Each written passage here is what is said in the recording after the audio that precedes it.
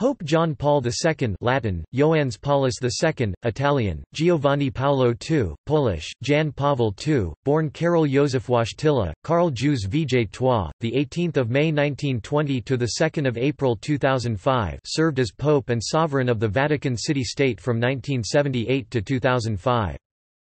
He was elected by the Second Papal Conclave of 1978, which was called after Pope John Paul I, who had been elected in August to succeed Pope Paul VI, died after 33 days.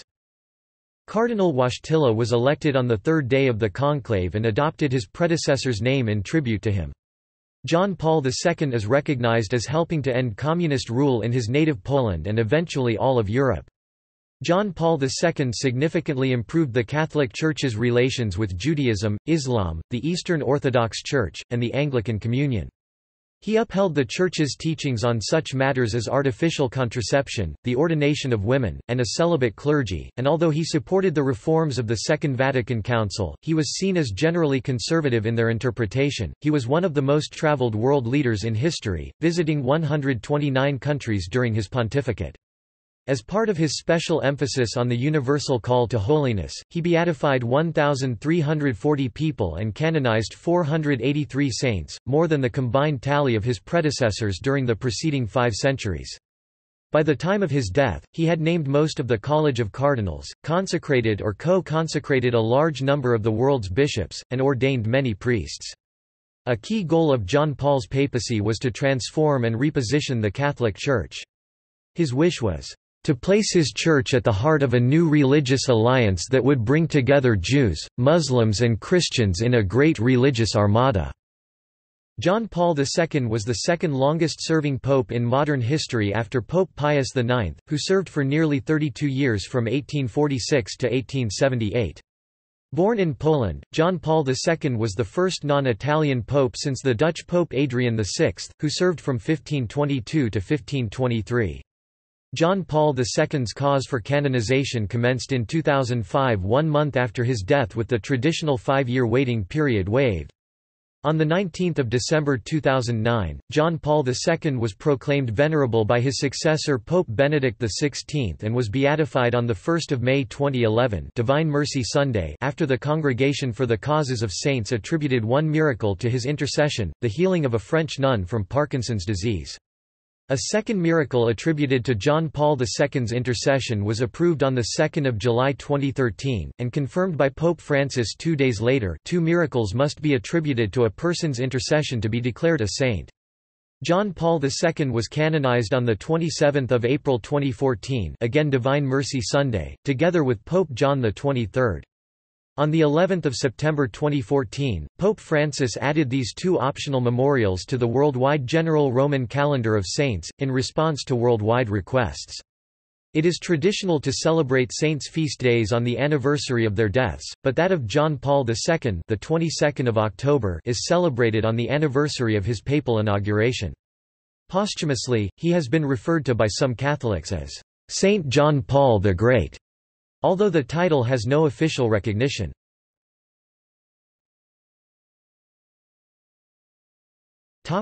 Early life Karol Józef Wojtyla was born in the Polish town of Wadowice. He was the youngest of three children born to Karol Wojtyla (1879–1941), an ethnic Pole, and Emilia Kaczorowska (1884–1929), whose mother's maiden surname was Scholz. Emilia, who was a schoolteacher, died from heart failure and kidney problems in 1929 when Wojtyla was eight years old. His elder sister Olga had died before his birth, but he was close to his brother Edmund, nicknamed Mundek, who was 13 years his senior. Edmund's work as a physician eventually led to his death from scarlet fever, a loss that affected Wojtyla deeply. As a boy, Wojtyla was athletic, often playing football as goalkeeper. During his childhood, Wojtyla had contact with Wadowice's large Jewish community. School football games were often organized between teams of Jews and Catholics, and Wojtyla often played on the Jewish side. I remember that at least a third of my classmates at elementary school in Wadowice were Jews. At elementary school there were fewer. With some I was on very friendly terms. And what struck me about some of them was their Polish patriotism. It was around this time that the young Karol had his first serious relationship with a girl. He became close to a girl called Ginka Beer, described as a Jewish beauty, with stupendous eyes and jet black hair, slender, a superb actress. In mid-1938, Wojtyla and his father left Wadowice and moved to Kraków, where he enrolled at the Jagiellonian University. While studying such topics as philology and various languages, he worked as a volunteer librarian and was required to participate in compulsory military training in the Academic Legion, but he refused to fire a weapon. He performed with various theatrical groups and worked as a playwright. During this time, his talent for language blossomed, and he learned as many as twelve languages, Polish, Latin, Italian, Spanish, Portuguese, French, English, German, Ukrainian, Serbo-Croatian, Slovak and Esperanto, nine of which he used extensively as pope. In 1939, Nazi German occupation forces closed the university after invading Poland. Able-bodied males were required to work, so from 1940 to 1944 Wojtyla variously worked as a messenger for a restaurant, a manual laborer in a limestone quarry and for the Solvay chemical factory, to avoid deportation to Germany. In 1940 he was struck by a tram, suffering a fractured skull. The same year he was hit by a lorry in a quarry, which left him with one shoulder higher than the other and a permanent stoop.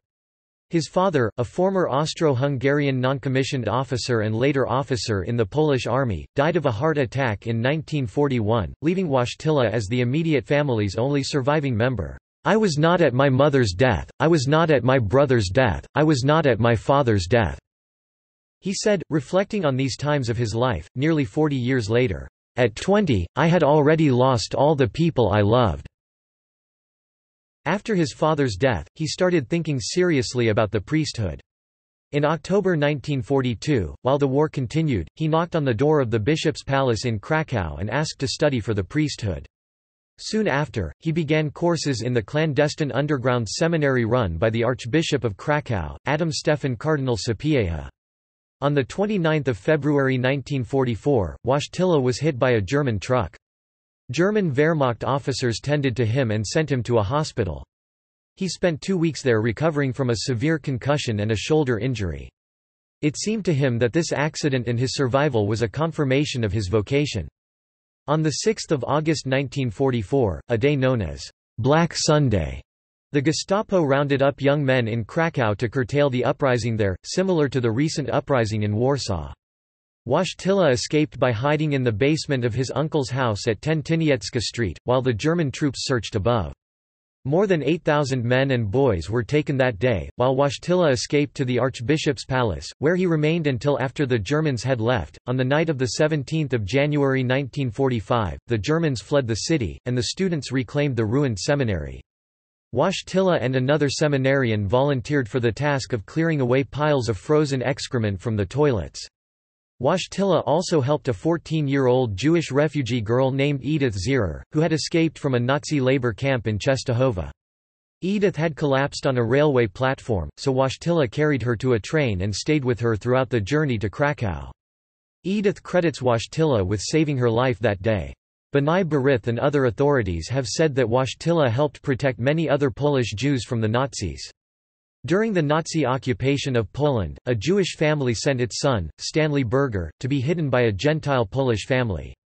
Berger's biological Jewish parents died during the Holocaust, and after the war Berger's new Christian parents asked a young Polish priest named Karol Wojtyla, the future Pope John Paul II, to baptize the boy. The future pope refused, claiming that the child should be raised in the Jewish faith of his birth parents and nation, not as a Catholic. In September 2003, Emanuele Pacifici, the head of Italy's Jewish community, proposed that John Paul II receive the Medal of a Righteous among the nations for saving a two-year-old Jewish boy by giving him to a Gentile Polish family to be hidden in 1942, when Karol Wojtyla was just a seminarian. After the war, this boy's Christian adopted parents asked the future Pope John Paul II to baptize the boy, yet once again he refused, as with Berger.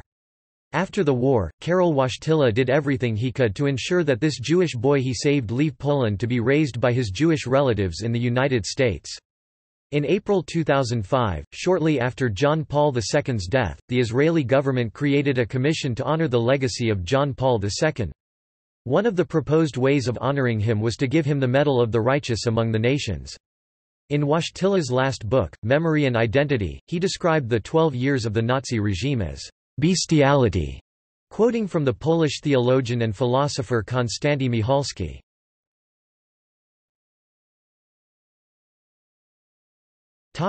Presbyterate After finishing his studies at the seminary in Kraków, Wojtyla was ordained as a priest on All Saints' Day, 1 November 1946, by the Archbishop of Kraków, Cardinal Sapieha. Sapieha sent Wojtyla to Rome's Pontifical International Athenaeum Angelicum, the future Pontifical University of St. Thomas Aquinas, to study under the French Dominican Fr. Reginald Garrigou Lagrange beginning on 26 November 1946. He resided in the Belgian Pontifical College during this time, under presidency of MGR Maximilian de Furstenberg. Wojtyla earned a license in July 1947, passed his doctoral exam on 14 June 1948, and successfully defended his doctoral thesis titled Doctrina de Fide apud s Ioannem a Cruce The Doctrine of Faith in St. John of the Cross in Philosophy on 19 June 1948. The Angelicum preserves the original copy of Wojtyla's typewritten thesis. Among other courses at the Angelicum, Wojtyla studied Hebrew with the Dutch Dominican Peter G. Duncker, author of the Compendium Grammaticae Linguae Hebraicae Biblicae. According to Wojtyla's schoolmate the future Austrian Cardinal Alphonse Stickler, in 1947 during his sojourn at the Angelicum Wojtyla visited Padre Pio, who heard his confession and told him that one day he would ascend to the highest post in the Church. Cardinal Stickler added that Wojtyla believed that the prophecy was fulfilled when he became a cardinal. Wojtyla returned to Poland in the summer of 1948 for his first pastoral assignment in the village of Niegowice, 15 miles 24 kilometers from Kraków, at the Church of the Assumption. He arrived at Niegowice at harvest time, where his first action was to kneel and kiss the ground. He repeated this gesture, which he adapted from the French Saint Jean-Marie Baptiste Vianney, throughout his papacy. In March 1949, Wojtyla was transferred to the parish of St. Florian in Kraków.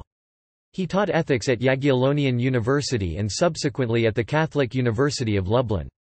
While teaching, he gathered a group of about 20 young people, who began to call themselves Rodzinka, the little family. They met for prayer, philosophical discussion, and to help the blind and sick. The group eventually grew to approximately 200 participants, and their activities expanded to include annual skiing and kayaking trips. In 1953, Wojtyla's habilitation thesis was accepted by the Faculty of Theology at the Jagiellonian University.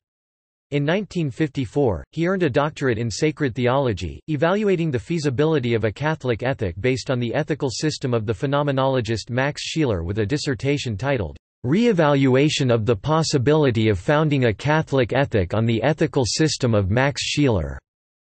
Osina możliwości zabudowania etyki chrześcijańskiej przzy zaleziniach systemu Maxa Schelera. Scheler was a German philosopher who founded a broad philosophical movement that emphasized the study of conscious experience. However, the communist authorities abolished the Faculty of Theology at the Jagiellonian University, thereby preventing him from receiving the degree until 1957. Wojtyla developed a theological approach, called phenomenological Thomism, that combined traditional Catholic Thomism with the ideas of personalism, a philosophical approach deriving from phenomenology, which was popular among Catholic intellectuals in Krakow during Wojtyla's intellectual development. He translated Scheler's formalism and the ethics of substantive values. During this period, Wojtyla wrote a series of articles in Krakow's Catholic newspaper, Tygodnik Powszechny, Universal Weekly, dealing with contemporary church issues. He focused on creating original literary work during his first dozen years as a priest. War, life under communism, and his pastoral responsibilities all fed his poetry and plays. Wojtyla published his work under two pseudonyms, Andrzej Jawien and Stanislaw Andrzej Gruda to distinguish his literary from his religious writings under his own name, and also so that his literary works would be considered on their merits. In 1960, Wojtyla published the influential theological book Love and Responsibility, a defense of traditional church teachings on marriage from a new philosophical standpoint. While a priest in Krakow, groups of students regularly joined Wojtyla for hiking, skiing, bicycling, camping, and kayaking, accompanied by prayer, outdoor masses, and theological discussions. In Stalinist-era Poland, it was not permitted for priests to travel with groups of students. Father Wojtyla asked his younger companions to call him wujek, Polish for uncle, to prevent outsiders from deducing he was a priest. The nickname gained popularity among his followers. In 1958, when Wojtyla was named auxiliary bishop of Krakow, his acquaintances expressed concern that this would cause him to change. Wojtyla responded to his friends, Wujek will remain Wujek, and he continued to live a simple life, shunning the trappings that came with his position as bishop. This beloved nickname stayed with Wojtyla for his entire life and continues to be affectionately used, particularly by the Polish people.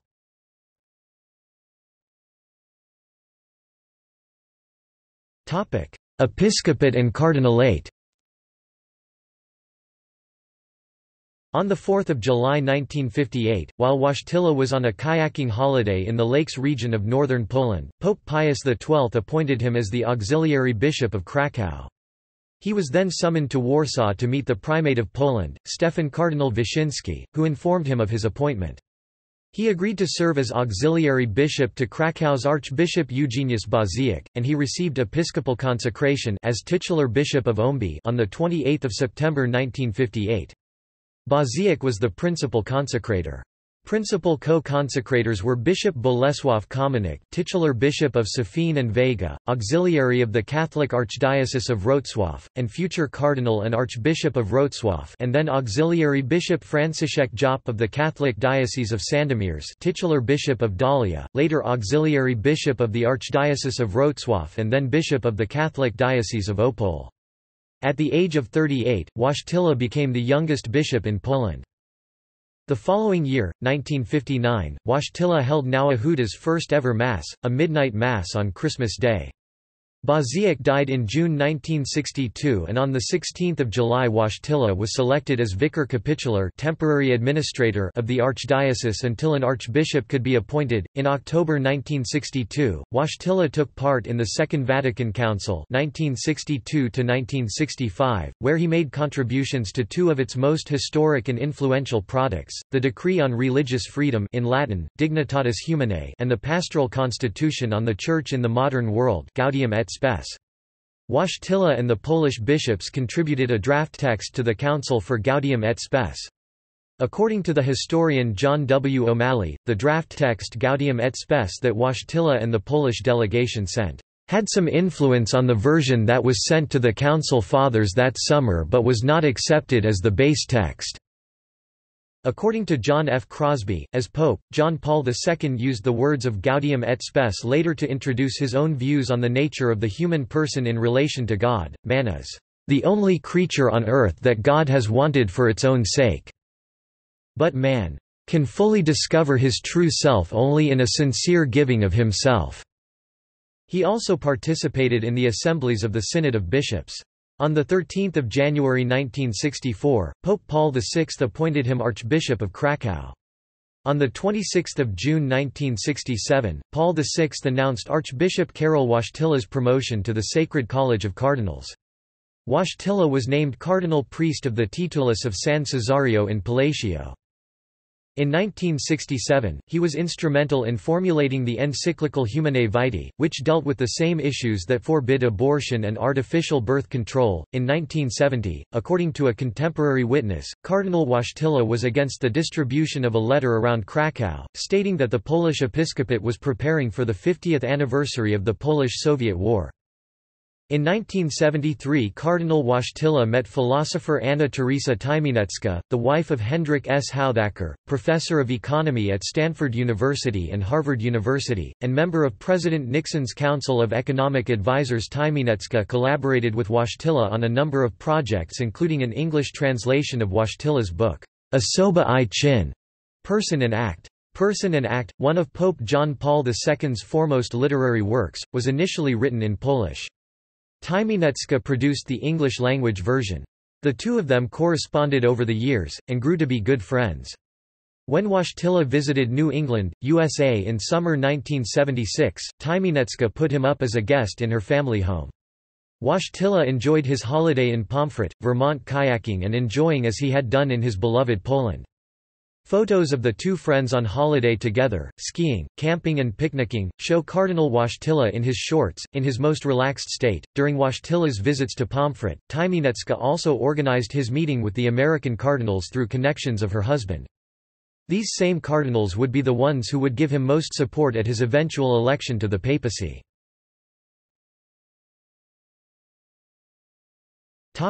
Papacy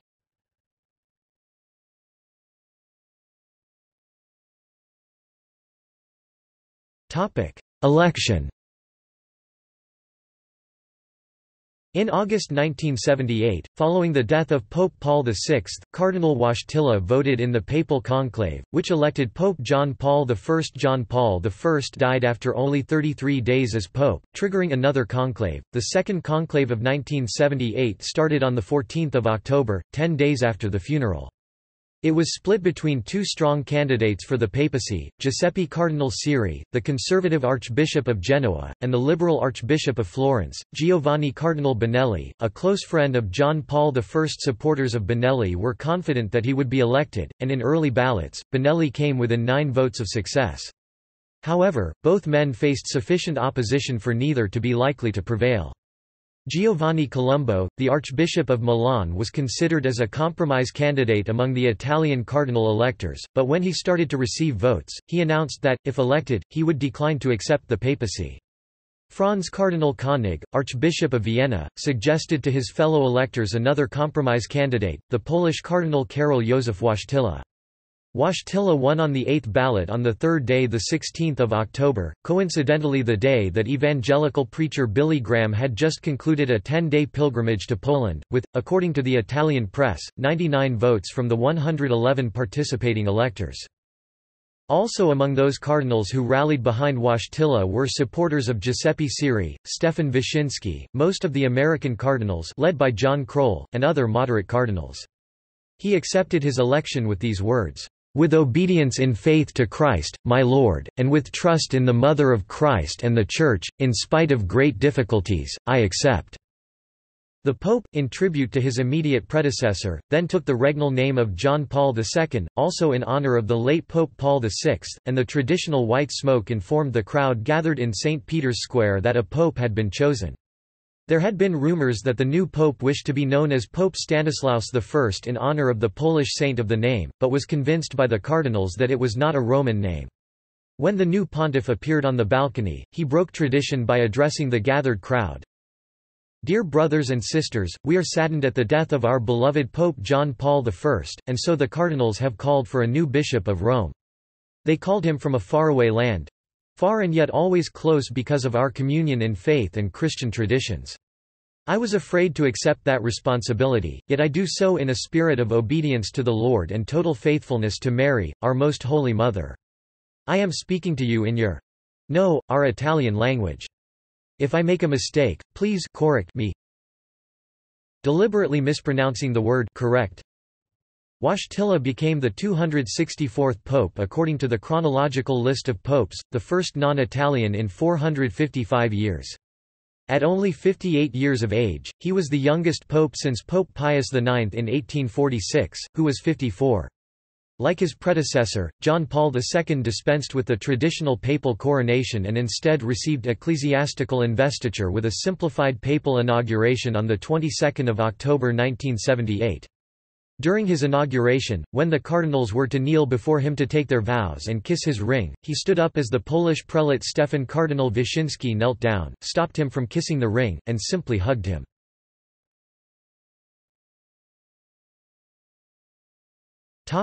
Pastoral trips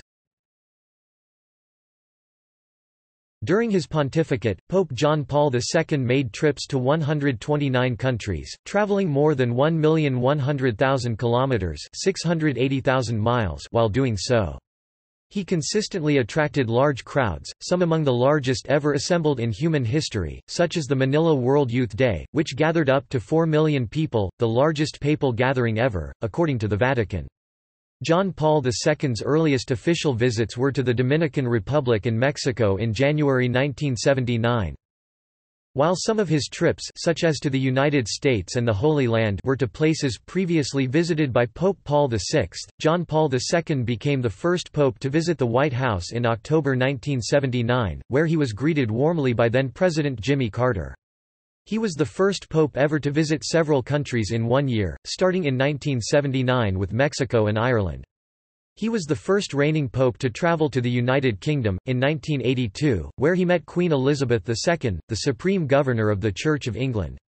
While in Britain he also visited Canterbury Cathedral and knelt in prayer with Robert Runcie, the Archbishop of Canterbury, at the spot where Thomas a Becket had been killed, as well as holding several large-scale open-air masses, including one at Wembley Stadium, which was attended by some 80,000 people. He travelled to Haiti in 1983, where he spoke in Creole to thousands of impoverished Catholics gathered to greet him at the airport.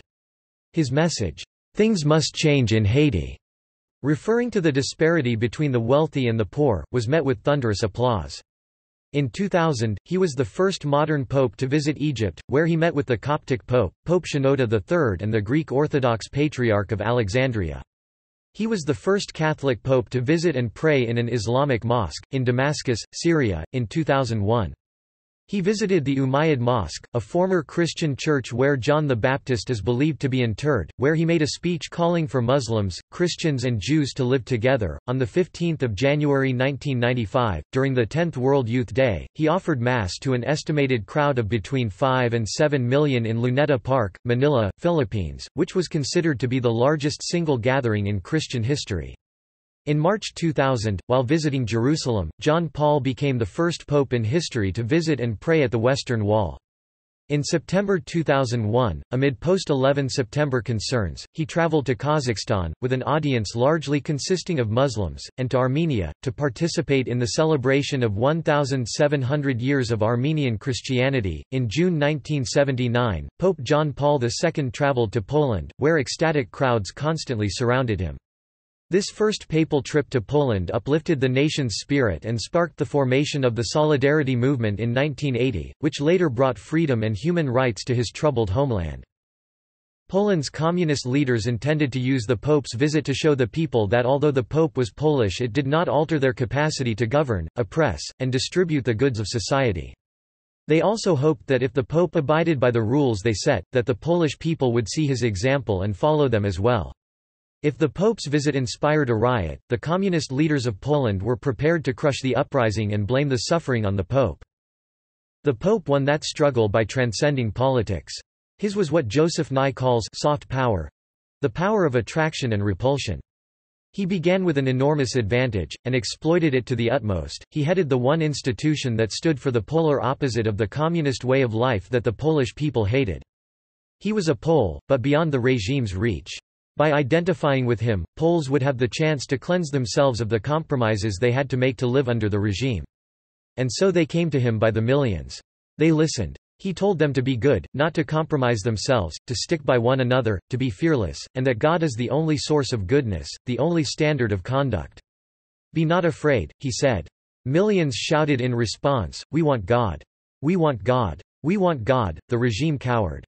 Had the Pope chosen to turn his soft power into the hard variety, the regime might have been drowned in blood. Instead, the Pope simply led the Polish people to desert their rulers by affirming solidarity with one another. The Communists managed to hold on as despots a decade longer. But as political leaders, they were finished.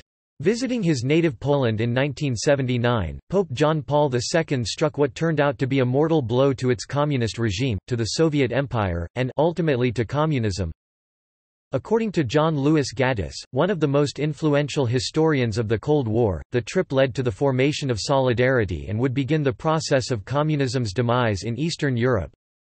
When Pope John Paul II kissed the ground at the Warsaw airport he began the process by which communism in Poland—and ultimately elsewhere in Europe—would come to an end. On later trips to Poland, he gave tacit support to the Solidarity organization. These visits reinforced this message and contributed to the collapse of East European communism that took place between 1989–1990 with the reintroduction of democracy in Poland, and which then spread through Eastern Europe 1990–1991 and Southeastern Europe 1990–1992.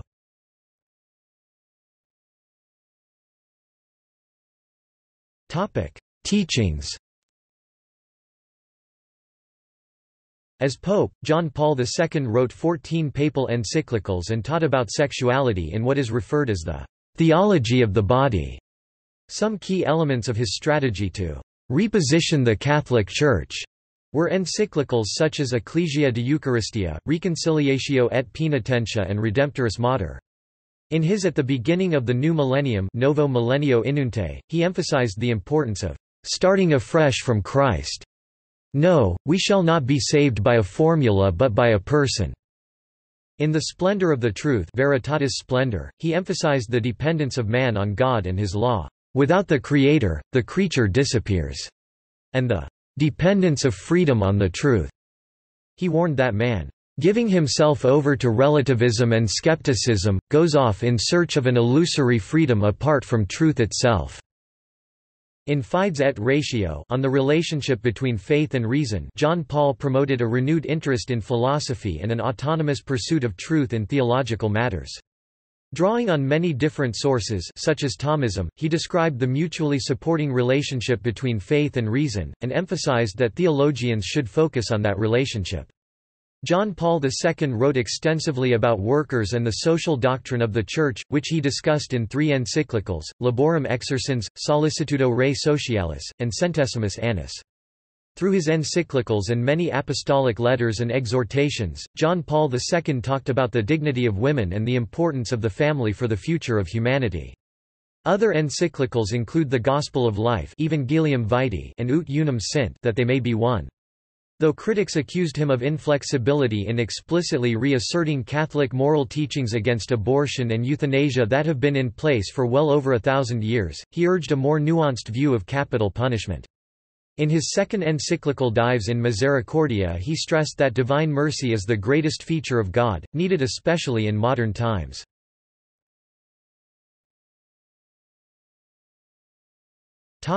Moral stances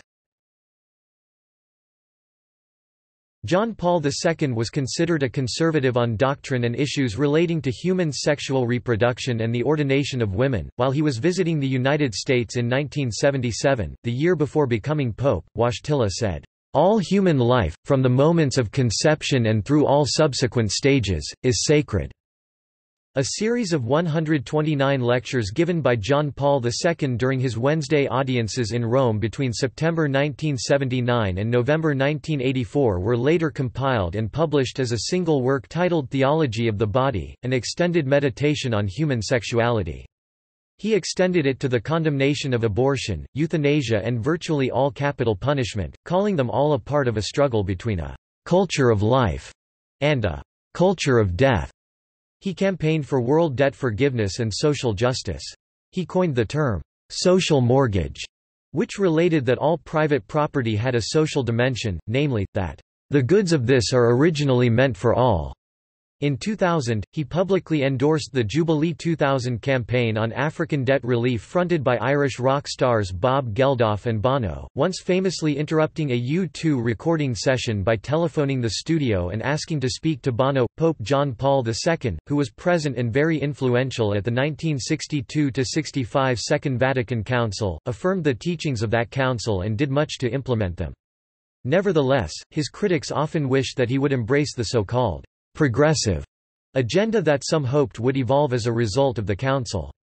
In fact, the Council did not advocate progressive changes in these areas, for example, they still condemned abortion as an unspeakable crime. Pope John Paul II continued to declare that contraception, abortion, and homosexual acts were gravely sinful, and, with Joseph Ratzinger future Pope Benedict XVI, opposed liberation theology. Following the Church's exaltation of the marital act of sexual intercourse between a baptized man and woman within sacramental marriage as proper and exclusive to the sacrament of marriage, John Paul II believed that it was, in every instance, profaned by contraception, abortion, divorce followed by a second marriage, and by homosexual acts. In 1994, John Paul II asserted the Church's lack of authority to ordain women to the priesthood, stating that without such authority ordination is not legitimately compatible with fidelity to Christ. This was also deemed a repudiation of calls to break with the constant tradition of the Church by ordaining women to the priesthood. In addition, John Paul II chose not to end the discipline of mandatory priestly celibacy, although in a small number of unusual circumstances, he did allow certain married clergymen of other Christian traditions who later became Catholic to be ordained as Catholic priests.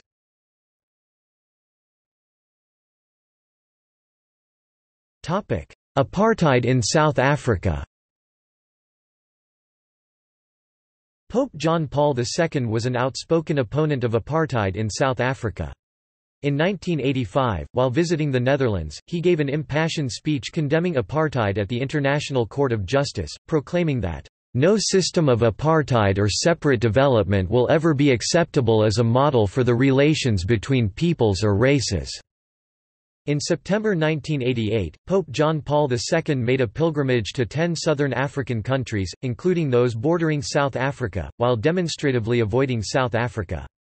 During his visit to Zimbabwe, John Paul II called for economic sanctions against South Africa's government. After John Paul II's death, both Nelson Mandela and Archbishop Desmond Tutu praised the Pope for defending human rights and condemning economic injustice.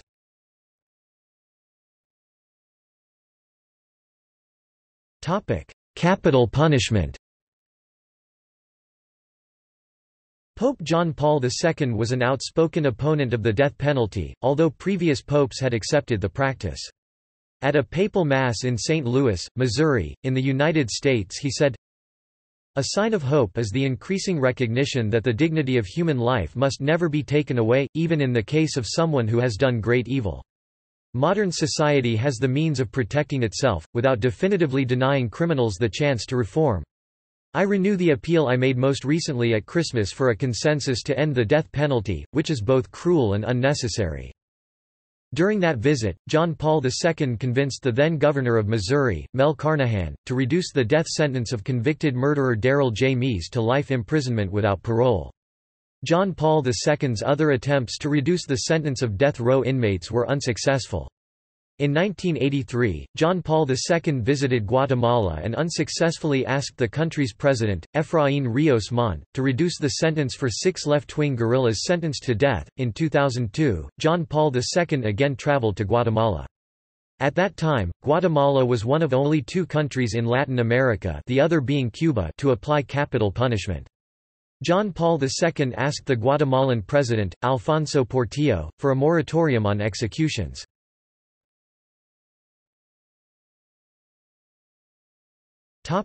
European Union Pope John Paul II pushed for a reference to Europe's Christian cultural roots in the draft of the European Constitution. In his 2003 Apostolic Exhortation Ecclesia in Europa, John Paul II wrote that he fully respected the secular nature of European institutions.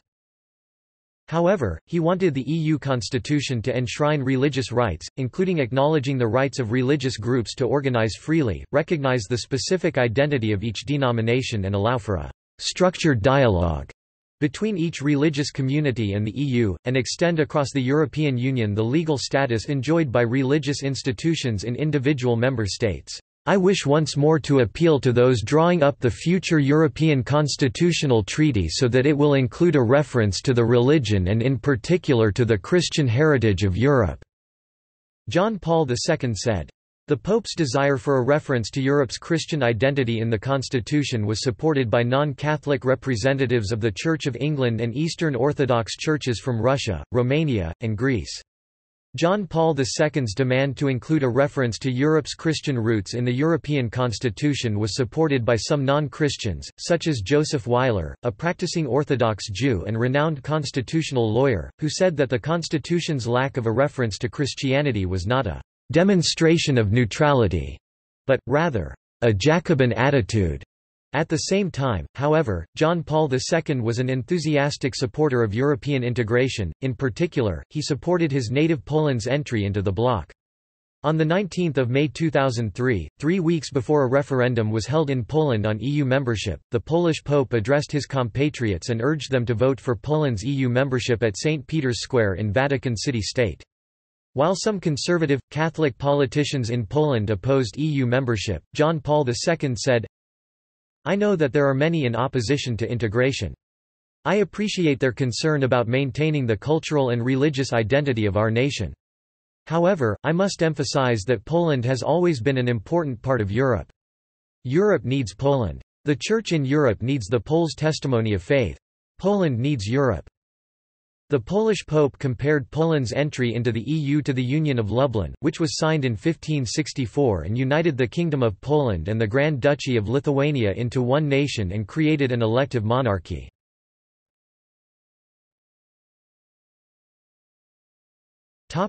Evolution On the 22nd of October 1996, in a speech to the Pontifical Academy of Sciences plenary session at the Vatican, John Paul II said of evolution that this theory has been progressively accepted by researchers, following a series of discoveries in various fields of knowledge. The convergence, neither sought nor fabricated, of the results of work that was conducted independently is in itself a significant argument in favor of this theory. John Paul II's embrace of evolution was enthusiastically praised by American paleontologist and evolutionary biologist Stephen Jay Gould, with whom he had an audience in 1984. Although generally accepting the theory of evolution, John Paul II made one major exception the human soul. If the human body has its origin in living material which pre exists it, the spiritual soul is immediately created by God.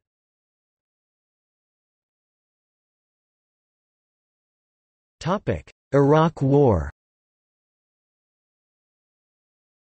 In 2003 John Paul II criticized the 2003 U.S.-led invasion of Iraq, saying in his State of the World address, "...no to war. War is not always inevitable. It is always a defeat for humanity." He sent Pio Cardinal Laghi, the former apostolic pro-nuncio to the United States, to talk with George W. Bush, the American president, to express opposition to the war. John Paul II said that it was up to the United Nations to solve the international conflict through diplomacy and that a unilateral aggression is a crime against peace and a violation of international law. The Pope's opposition to the Iraq War led to him being a candidate to win the 2003 Nobel Peace Prize, which was ultimately awarded to Iranian attorney, judge and noted human rights advocate, Shirin Ebadi.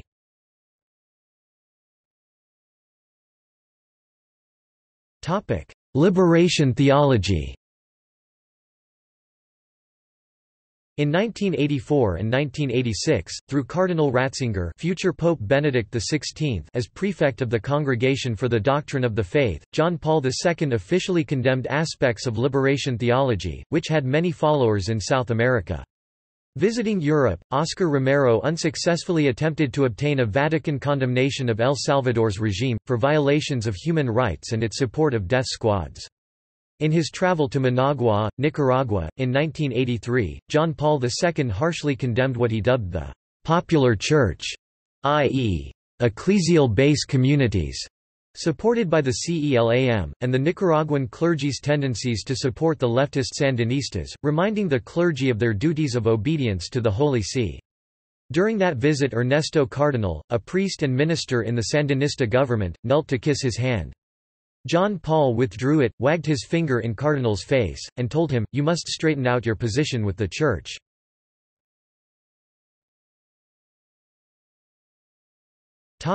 Organized crime Pope John Paul II was the first pontiff to actively fight against mafia violence in southern Italy. In 1993, during a pilgrimage to Agrigento, Sicily, he appealed to the mafiosi, I say to those responsible, convert. One day, the judgment of God will arrive. In 1994, John Paul II visited Catania and told victims of mafia violence to rise up and cloak yourself in light and justice.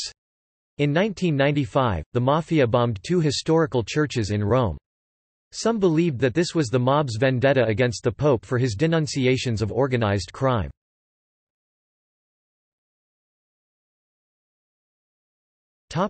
Persian Gulf War Between 1990 and 1991, a 34-nation coalition led by the United States waged a war against Saddam Hussein's Iraq, which had invaded and annexed Kuwait. Pope John Paul II was a staunch opponent of the Gulf War. Throughout the conflict, he appealed to the international community to stop the war, and after it was over led diplomatic initiatives to negotiate peace in the Middle East. In his 1991 encyclical Centesimus Annus, John Paul II harshly condemned the conflict, no, Never Again War, which destroys the lives of innocent people, teaches how to kill, throws into upheaval even the lives of those who do the killing and leaves behind a trail of resentment and hatred, thus making it all the more difficult to find a just solution of the very problems which provoked the war. In April 1991, during his Urbi et Orbi Sunday message at St. Peter's Basilica, John Paul II called for the international community to lend an ear to the long-ignored aspirations of oppressed peoples. He specifically named the Kurds, a people who were fighting a civil war against Saddam Hussein's troops in Iraq, as one such people, and referred to the war as a darkness menacing the earth. During this time, the Vatican had expressed its frustration with the international ignoring of the Pope's calls for peace in the Middle East.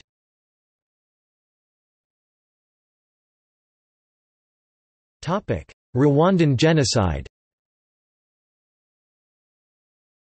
John Paul II was the first world leader to describe as genocide the massacre by Hutus of Tutsis in the mostly Catholic country of Rwanda, which started in 1990 and reached its height in 1994.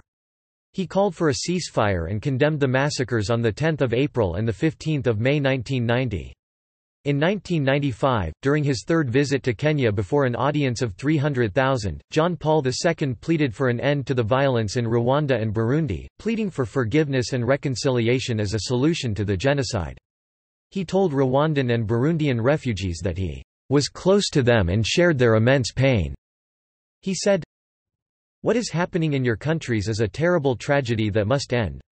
During the African Synod, we, the pastors of the Church, felt the duty to express our consternation and to launch an appeal for forgiveness and reconciliation.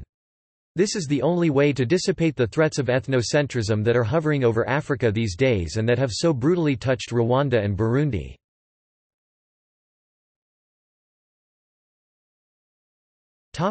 Views on sexuality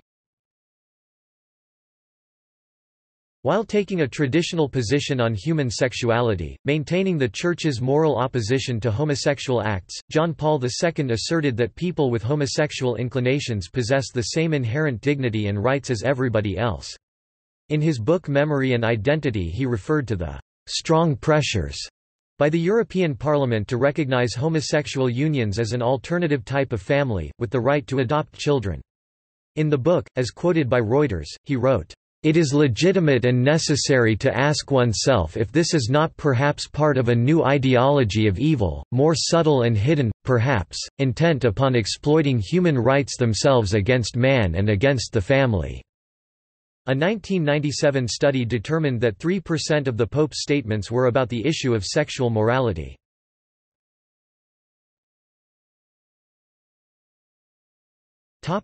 Reform of canon law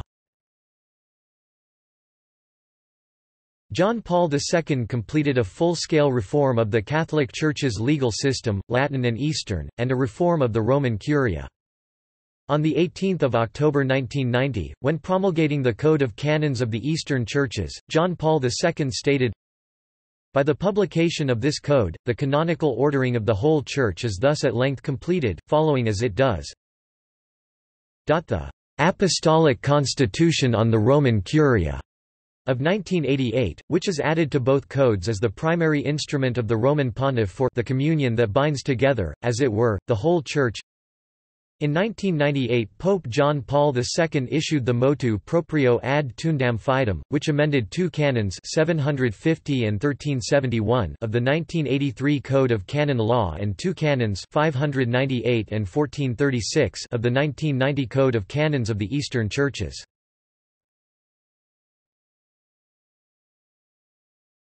1983 Code of Canon Law On 25 January 1983, with the Apostolic Constitution Sacrae Disciplinae Leges John Paul II promulgated the current Code of Canon Law for all members of the Catholic Church who belong to the Latin Church. It entered into force the first Sunday of the following Advent, which was 27 November 1983. John Paul II described the new code as, "...the last document of Vatican II." Edward N. Peters has referred to the 1983 code as the Johanno-Pauline Code. Johannes Paulus is Latin for John Paul, paralleling the Pio Benedictine 1917 code that it replaced. Topic: Code of Canons of the Eastern Churches. Pope John Paul II promulgated the Code of Canons of the Eastern Churches on 18 October 1990, by the document Sacri Canones. The CCEO came into force of law on 1 October 1991. It is the codification of the common portions of the canon law for the 23 of the 24 sui iuris churches in the Catholic Church that are the Eastern Catholic Churches. It is divided into 30 titles and has a total of 1540 canons.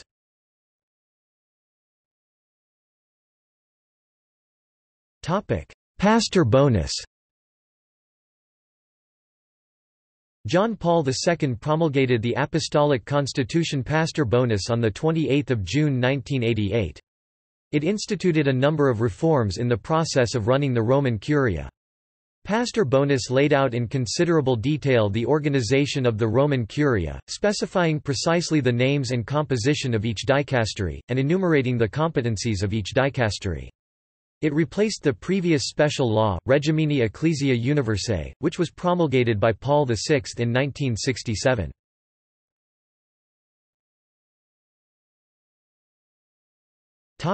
Catechism of the Catholic Church On the 11th of October 1992, in his apostolic constitution Fidei Depositum, the deposit of faith, John Paul ordered the publication of the Catechism of the Catholic Church. He declared the publication to be a sure norm for teaching the faith, a sure and authentic reference text for teaching Catholic doctrine and particularly for preparing local catechisms." It was meant to encourage and assist in the writing of new local catechisms both applicable and faithful, rather than replacing them.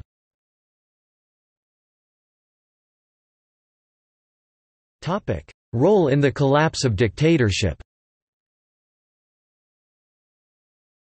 Pope John Paul II has been credited with inspiring political change that not only led to the collapse of communism in his native Poland and eventually all of Eastern Europe, but also in many countries ruled by dictators. In the words of Joaquin Navarro Valls, John Paul II's press secretary, the single fact of John Paul II's election in 1978 changed everything. In Poland, everything began. Not in East Germany or Czechoslovakia. Then the whole thing spread. Why in 1980 did they lead the way in Gdansk? Why did they decide, now or never? Only because there was a Polish pope. He was in Chile and Pinochet was out. He was in Haiti and Duvalier was out. He was in the Philippines and Marcos was out. On many of those occasions, people would come here to the Vatican thanking the Holy Father for changing things.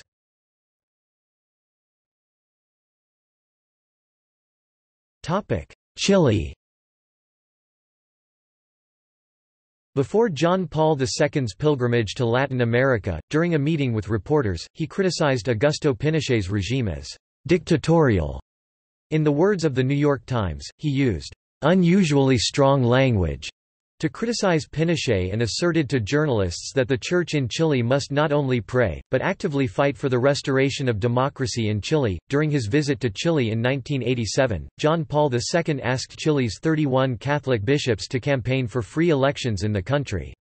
According to George Weigel and Cardinal Stanislaw Dziwisz, he encouraged Pinochet to accept a democratic opening of the regime, and may even have called for his resignation according to Monsignor Sławomir Oder, the postulator of John Paul II's beatification cause. John Paul's words to Pinochet had a profound impact on the Chilean dictator. The Pope confided to a friend, I received a letter from Pinochet in which he told me that as a Catholic he had listened to my words, he had accepted them, and he had decided to begin the process to change the leadership of his country." During his visit to Chile, John Paul II supported the Vicariate of Solidarity, the church-led pro-democracy, anti-Pinochet organization. John Paul II visited the Vicariate of Solidarity's offices, spoke with its workers, and called upon them to continue their work, emphasizing that the Gospel consistently urges respect for human rights. While in Chile, Pope John Paul II made gestures of public support of Chile's anti-Pinochet democratic opposition. For instance, he hugged and kissed Carmen Gloria Quintana, a young student who had been nearly burned to death by Chilean police and told her that, "...we must pray for peace and justice in Chile." Later, he met with several opposition groups, including those that had been declared illegal by Pinochet's government. The opposition praised John Paul II for denouncing Pinochet as a dictator, for many members of Chile's opposition were persecuted for much milder statements. Bishop Carlos Camus, one of the harshest critics of Pinochet's dictatorship within the Chilean church, praised John Paul II's stance during the papal visit. I am quite moved, because our pastor supports us totally. Never again will anyone be able to say that we are interfering in politics when we defend human dignity." He added, "No country the Pope has visited has remained the same after his departure. The Pope's visit is a mission, an extraordinary social catechism, and his stay here will be a watershed in Chilean history." Some have erroneously accused John Paul II of affirming Pinochet's regime by appearing with the Chilean ruler in public. However, Cardinal Roberto Tucci, the organizer of John Paul II's visits, revealed that Pinochet tricked the pontiff by telling him he would take him to his living room, while in reality he took him to his balcony. Tucci claims that the pontiff was «furious»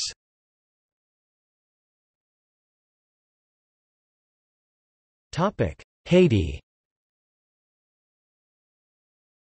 Pope John Paul II visited Haiti on 9 March 1983, when the country was ruled by Jean-Claude Baby Doc Duvalier. He bluntly criticized the poverty of the country, directly addressing Baby Doc and his wife, Michelle Bennett in front of a large crowd of Haitians, Yours is a beautiful country, rich in human resources, but Christians cannot be unaware of the injustice, the excessive inequality, the degradation of the quality of life, the misery, the hunger, the fear suffered by the majority of the people. John Paul II spoke in French and occasionally in Creole, and in the homily outlined the basic human rights that most Haitians lacked. The opportunity to eat enough, to be cared for when ill, to find housing, to study, to overcome illiteracy, to find worthwhile and properly paid work, all that provides a truly human life for men and women, for young and old." Following John Paul II's pilgrimage, the Haitian opposition to Duvalier frequently reproduced and quoted the Pope's message. Shortly before leaving Haiti, John Paul II called for social change in Haiti by saying, Lift up your heads, be conscious of your dignity of men created in God's image." John Paul II's visit inspired massive protests against the Duvalier dictatorship. In response to the visit, 860 Catholic priests and church workers signed a statement committing the church to work on behalf of the poor. In 1986, Duvalier was deposed in an uprising.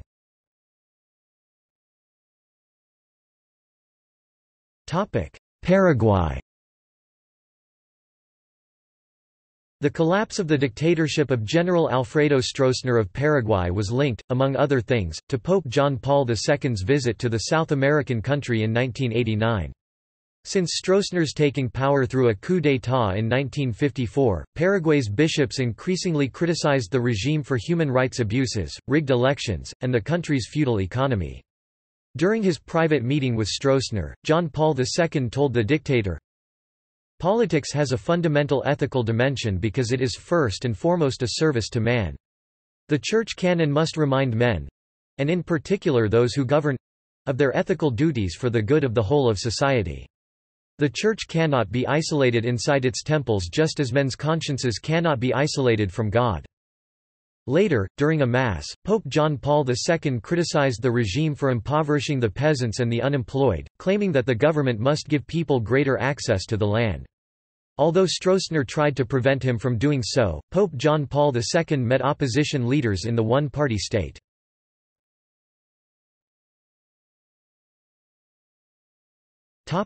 Role in the fall of communism John Paul II has been credited with being instrumental in bringing down communism in Central and Eastern Europe, by being the spiritual inspiration behind its downfall and catalyst for a peaceful revolution in Poland. Lech Walesa, the founder of Solidarity and the first post-communist president of Poland, credited John Paul II with giving Poles the courage to demand change. According to Walesa, "...before his pontificate, the world was divided into blocks. Nobody knew how to get rid of communism. In Warsaw, in 1979, he simply said, do not be afraid, and later prayed, let your spirit descend and change the image of the land, this land. It has also been widely alleged that the Vatican Bank covertly funded Solidarity. U.S. President Ronald Reagan's correspondence with the Pope reveals, "...a continuous scurrying to shore up Vatican support for U.S. policies." Perhaps most surprisingly, the papers show that, as late as 1984, the Pope did not believe the communist Polish government could be changed. The British historian Timothy Garton Ash, who describes himself as an agnostic liberal, said shortly after John Paul II's death, No one can prove conclusively that he was a primary cause of the end of communism. However, the major figures on all sides, not just Lech Walesa, the Polish Solidarity leader, but also Solidarity's arch-opponent, General Wojciech Jaruzelski, not just the former American President George Bush Sr. but also the former Soviet President Mikhail Gorbachev—now agree that he was I would argue the historical case in three steps, without the Polish Pope, no Solidarity Revolution in Poland in 1980, without Solidarity, no dramatic change in Soviet policy towards Eastern Europe under Gorbachev, without that change, no Velvet Revolutions in 1989. In December 1989, John Paul II met with the Soviet leader Mikhail Gorbachev at the Vatican and each expressed his respect and admiration for the other. Gorbachev once said, the collapse of the Iron Curtain would have been impossible without John Paul II. On John Paul II's death, Mikhail Gorbachev said, Pope John Paul II's devotion to his followers is a remarkable example to all of us. On 4 June 2004 U.S. President George W. Bush presented the Presidential Medal of Freedom, the United States' highest civilian honor, to John Paul II during a ceremony at the Apostolic Palace. The president read the citation that accompanied the medal, which recognized, "...this son of Poland," whose principled stand for peace and freedom has inspired millions and helped to topple communism and tyranny." After receiving the award, John Paul II said, May the desire for freedom, peace, a more humane world symbolized by this medal inspire men and women of goodwill in every time and place.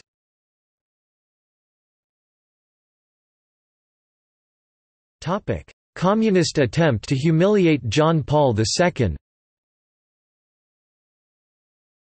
In 1983 Poland's communist government unsuccessfully tried to humiliate John Paul II by falsely saying he had fathered an illegitimate child. Section D of Służba Bezpieczeństwa (SB), the security service, had an action named Triangolo to carry out criminal operations against the Catholic Church, the operation encompassed all Polish hostile actions against the Pope. Captain Grzegorz Piotrowski, one of the murderers of Jerzy Popieluszko, was the leader of Section D. They drugged Irena Kinaszewska, the secretary of the Krakow-based weekly Catholic magazine Tygodnik Powszechny where Karol Wojtyla had worked, and unsuccessfully attempted to make her admit to having had sexual relations with him. The SB then attempted to compromise Krakow priest Andrzej Bardecki, an editor of Tygodnik Powszechny and one of the closest friends of Cardinal Karol Wojtyla before he became pope, by planting false memoirs in his dwelling, but Piotrowski was exposed and the forgeries were found and destroyed before the SB could discover them.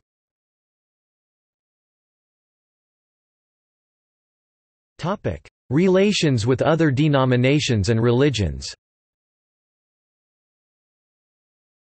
John Paul II traveled extensively and met with believers from many divergent faiths. At the World Day of Prayer for Peace, held in Assisi on 27 October 1986, more than 120 representatives of different religions and denominations spent a day of fasting and prayer.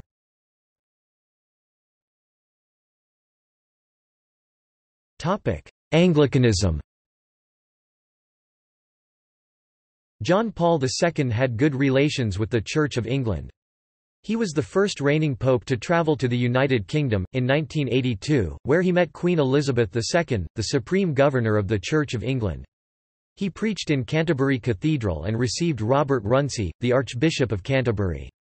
He said that he was disappointed by the Church of England's decision to ordain women and saw it as a step away from unity between the Anglican Communion and the Catholic Church. In 1980, John Paul II issued a pastoral provision allowing married former Episcopal priests to become Catholic priests, and for the acceptance of former Episcopal Church parishes into the Catholic Church. He allowed the creation of the Anglican use form of the Latin Rite, which incorporates the Anglican Book of Common Prayer. He helped establish Our Lady of the Atonement Catholic Church, together with Archbishop Patrick Flores of San Antonio, Texas, as the inaugural parish for the Anglican Use Liturgy.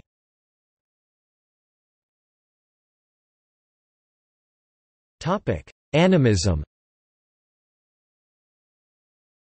In his book-length interview Crossing the Threshold of Hope with the Italian journalist Vittorio Messori published in 1995, John Paul II draws parallels between animism and Christianity. He says, It would be helpful to recall, the animist religions which stress ancestor worship. It seems that those who practice them are particularly close to Christianity, and among them, the Church's missionaries also find it easier to speak a common language.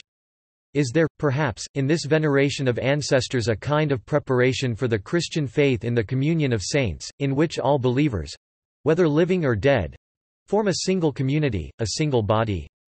There is nothing strange, then, that the African and Asian animists would become believers in Christ more easily than followers of the great religions of the Far East. In 1985, the Pope visited the African country of Togo, where 60% of the population espouses animist beliefs. To honor the Pope, animist religious leaders met him at a Catholic Marian shrine in the forest, much to the pontiff's delight. John Paul II proceeded to call for the need for religious tolerance, praised nature, and emphasized common elements between animism and Christianity, saying, Nature, exuberant and splendid in this area of forests and lakes, impregnates spirits and hearts with its mystery and orients them spontaneously toward the mystery of He who is the author of life. It is this religious sentiment that animates you and one can say that animates all of your compatriots.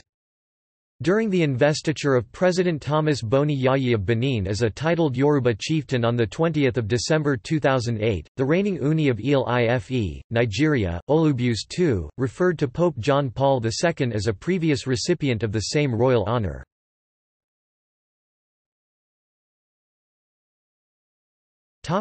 Armenian Apostolic Church John Paul II had good relations with the Armenian Apostolic Church. In 1996, he brought the Catholic Church and the Armenian Church closer by agreeing with Armenian Archbishop Karekin II on Christ's nature. During an audience in 2000, John Paul II and Karekin II, by then the Catholicos of all Armenians, issued a joint statement condemning the Armenian genocide. Meanwhile, the Pope gave Karekin the relics of Saint Gregory the Illuminator, the first head of the Armenian Church that had been kept in Naples, Italy, for 500 years. In September 2001, John Paul II went on a three-day pilgrimage to Armenia to take part in an ecumenical celebration with Karekin II in the newly consecrated Saint Gregory the Illuminator Cathedral in Yerevan. The two church leaders signed a declaration remembering the victims of the Armenian genocide.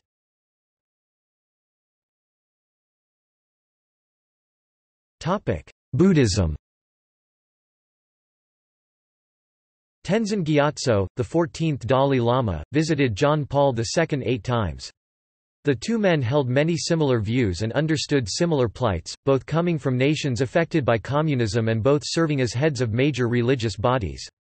As Archbishop of Krakow, long before the 14th Dalai Lama was a world-famous figure, Wojtyla held special masses to pray for the Tibetan people's nonviolent struggle for freedom from Maoist China. During his 1995 visit to Sri Lanka, a country where a majority of the population adheres to Theravada Buddhism, John Paul II expressed his admiration for Buddhism, in particular I express my highest regard for the followers of Buddhism, the majority religion in Sri Lanka, with its, four great values of, loving kindness, compassion, sympathetic joy and equanimity, with its ten transcendental virtues and the joys of the Sangha expressed so beautifully in the Theragathas. I ardently hope that my visit will serve to strengthen the goodwill between us, and that it will reassure everyone of the Catholic Church's desire for interreligious dialogue and cooperation in building a more just and fraternal world.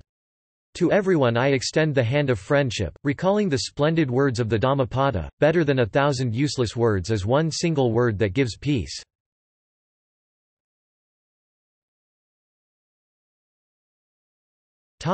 Eastern Orthodox Church In May 1999, John Paul II visited Romania on the invitation from Patriarch Teoctist Arapasu of the Romanian Orthodox Church. This was the first time a pope had visited a predominantly Eastern Orthodox country since the Great Schism in 1054.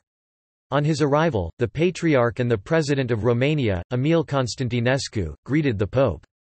The Patriarch stated, the second millennium of Christian history began with a painful wounding of the unity of the Church. The end of this millennium has seen a real commitment to restoring Christian unity.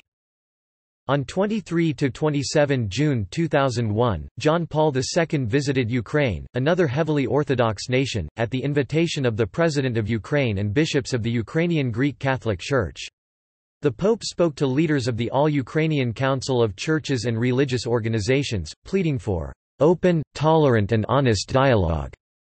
About 200,000 people attended the liturgies celebrated by the Pope in Kiev, and the liturgy in Lviv gathered nearly one and a half million faithful. John Paul II said that an end to the Great Schism was one of his fondest wishes. Healing divisions between the Catholic and Eastern Orthodox churches regarding Latin and Byzantine traditions was clearly of great personal interest. For many years, John Paul II sought to facilitate dialogue and unity stating as early as 1988 in Euntes in Mundum, "...Europe has two lungs, it will never breathe easily until it uses both of them." During his 2001 travels, John Paul II became the first pope to visit Greece in 1,291 years. In Athens, the pope met with Archbishop Christodoulos, the head of the Church of Greece. After a private 30-minute meeting, the two spoke publicly. Christodoulos read a list of 13 offences of the Catholic Church against the Eastern Orthodox Church since the Great Schism, including the pillaging of Constantinople by Crusaders in 1204, and bemoaned the lack of apology from the Catholic Church, saying, "...until now, there has not been heard a single request for pardon." For the "...maniacal Crusaders of the 13th century," the Pope responded by saying, for the occasions past and present, when sons and daughters of the Catholic Church have sinned by action or omission against their Orthodox brothers and sisters, may the Lord grant us forgiveness." To which Christodoulos immediately applauded. John Paul II said that the sacking of Constantinople was a source of "...profound regret." for Catholics. Later John Paul II and Christodoulos met on a spot where St. Paul had once preached to Athenian Christians. They issued a common declaration, saying, we shall do everything in our power, so that the Christian roots of Europe and its Christian soul may be preserved. We condemn all recourse to violence, proselytism and fanaticism, in the name of religion." The two leaders then said the Lord's Prayer together, breaking an orthodox taboo against praying with Catholics. The Pope had said throughout his pontificate that one of his greatest dreams was to visit Russia, but this never occurred. He attempted to solve the problems that had arisen over centuries between the Catholic and Russian Orthodox churches, and in 2004 gave them a 1730 copy of the lost icon of Our Lady of Kazan.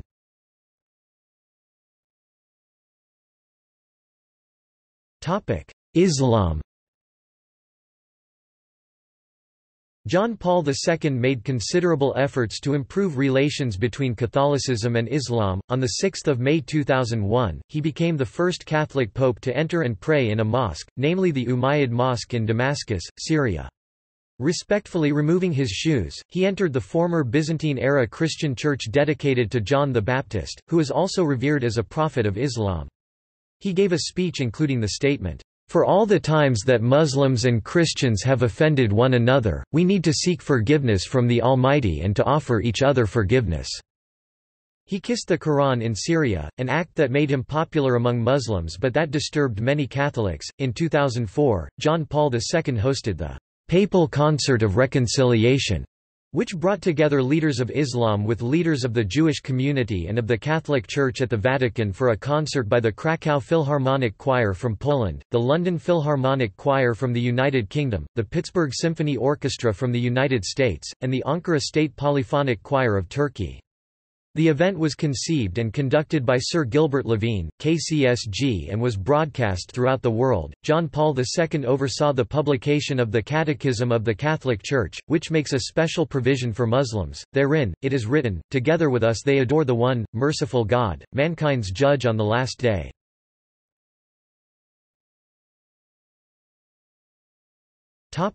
Jainism In 1995, Pope John Paul II held a meeting with 21 Jains, a sect that broke away from mainstream Hinduism in 600 BC, organized by the Pontifical Council for Interreligious Dialogue. He praised Mohandas Gandhi for his unshakable faith in God, assured the Jains that the Catholic Church will continue to engage in dialogue with their religion and spoke of the common need to aid the poor. The Jain leaders were impressed with the Pope's transparency and simplicity and the meeting received much attention in the Gujarat state in western India, home to many Jains.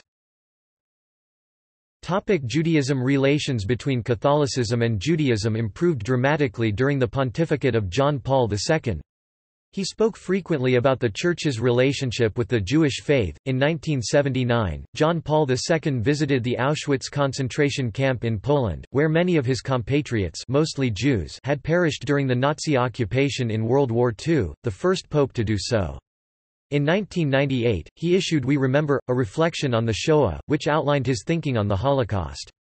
He became the first pope known to have made an official papal visit to a synagogue, when he visited the Great Synagogue of Rome on 13 April 1986. On 30 December 1993, John Paul II established formal diplomatic relations between the Holy See and the State of Israel, acknowledging its centrality in Jewish life and faith. On 7 April 1994, he hosted the papal concert to commemorate the Holocaust. It was the first ever Vatican event dedicated to the memory of the six million Jews murdered in World War II.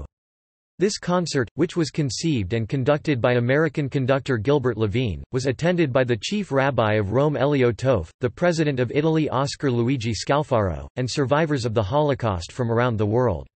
The Royal Philharmonic Orchestra, actor Richard Dreyfuss and cellist Lynn Harrell performed on this occasion under Levine's direction. On the morning of the concert, the Pope received the attending members of survivor community in a special audience in the Apostolic Palace. In March 2000, John Paul II visited Yad Vashem, the National Holocaust Memorial in Israel, and later made history by touching one of the holiest sites in Judaism, the Western Wall in Jerusalem, placing a letter inside it in which he prayed for forgiveness for the actions against Jews. In part of his address he said, I assure the Jewish people the Catholic Church, is deeply saddened by the hatred, acts of persecution and displays of antisemitism directed against the Jews by Christians at any time and in any place. He added that there were no words strong enough to deplore the terrible tragedy of the Holocaust. Israeli cabinet minister Rabbi Michael Melchior, who hosted the Pope's visit, said he was very moved by the Pope's gesture. It was beyond history, beyond memory. We are deeply saddened by the behavior of those who in the course of history have caused these children of yours to suffer, and asking your forgiveness we wish to commit ourselves to genuine brotherhood with the people of the covenant. In October 2003, the Anti-Defamation League ADL issued a statement congratulating John Paul II on entering the 25th year of his papacy. In January 2005, John Paul II became the first pope known to receive a priestly blessing from a rabbi, when rabbis Benjamin Blech, Barry Dov Schwartz, and Jack Bemporad visited the pontiff at Clementine Hall in the Apostolic Palace. Immediately after John Paul II's death, the ADL said in a statement that he had revolutionized Catholic-Jewish relations, saying, more change for the better took place in his 27-year papacy than in the nearly 2,000 years before. In another statement issued by the Australia, Israel and Jewish Affairs Council, director Dr. Colin Rubinstein said, the Pope will be remembered for his inspiring spiritual leadership in the cause of freedom and humanity. He achieved far more in terms of transforming relations with both the Jewish people and the State of Israel than any other figure in the history of the Catholic Church. With Judaism, therefore, we have a relationship which we do not have with any other religion. You are our dearly beloved brothers, and in a certain way, it could be said that you are our elder brothers. In an interview with the Polish press agency, Michael Schudrich, chief rabbi of Poland, said that never in history did anyone do as much for Christian-Jewish dialogue as Pope John Paul II, adding that many Jews had a greater respect for the late pope than for some rabbis. Schudrich praised John Paul II for condemning antisemitism as a sin, which no previous pope had done. On John Paul II's beatification, the chief rabbi of Rome Riccardo di Segni said in an interview with the Vatican newspaper L'Osservatore Romano that John Paul II was revolutionary because he tore down a thousand-year wall of Catholic distrust of the Jewish world." Meanwhile, Elio Toaff, the former chief rabbi of Rome, said that Remembrance of the Pope Karol Wojtyla will remain strong in the collective Jewish memory because of his appeals to fraternity and the spirit of tolerance, which excludes all violence. In the stormy history of relations between Roman popes and Jews in the ghetto in which they were closed for over three centuries in humiliating circumstances, John Paul II is a bright figure in his uniqueness. In relations between our two great religions in the new century that was stained with bloody wars and the plague of racism, the heritage of John Paul II remains one of the few spiritual islands guaranteeing survival and human progress.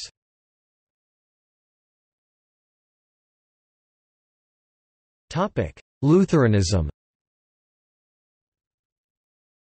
From 15 to 19 November 1980, John Paul II visited West Germany on his first trip to a country with a large Lutheran Protestant population. In Mainz, he met with leaders of the Evangelical Church in Germany, and with representatives of other Christian denominations. On the 11th of December 1983, John Paul II participated in an ecumenical service in the Evangelical Lutheran Church in Rome, the first papal visit ever to a Lutheran church. The visit took place 500 years after the birth of Martin Luther, the German Augustinian monk who initiated the Protestant Reformation. In his apostolic pilgrimage to Norway, Iceland, Finland, Denmark and Sweden of June 1989, John Paul II became the first pope to visit countries with Lutheran majorities. In addition to celebrating Mass with Catholic believers, he participated in ecumenical services at places that had been Catholic shrines before the Reformation, Nidaros Cathedral in Norway, near St. Olav's Church at Thingvellir in Iceland, Turku Cathedral in Finland, Roskilde Cathedral in Denmark, and Uppsala Cathedral in Sweden. On 31 October 1999, the 482nd anniversary of Reformation Day, Martin Luther's posting of the 95 Theses, representatives of the Vatican and the Lutheran World Federation LWF signed a joint declaration on the doctrine of justification, as a gesture of unity. The signing was a fruit of a theological dialogue that had been going on between the LWF and the Vatican since 1965.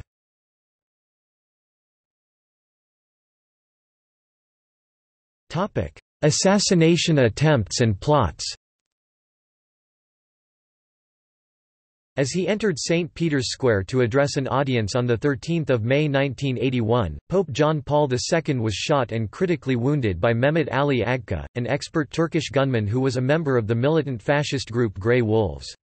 The assassin used a Browning 9mm semi-automatic pistol, shooting the Pope in the abdomen and perforating his colon and small intestine multiple times.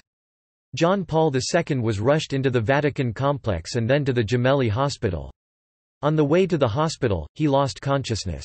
Even though the two bullets missed his mesenteric artery and abdominal aorta, he lost nearly three-quarters of his blood. He underwent five hours of surgery to treat his wounds.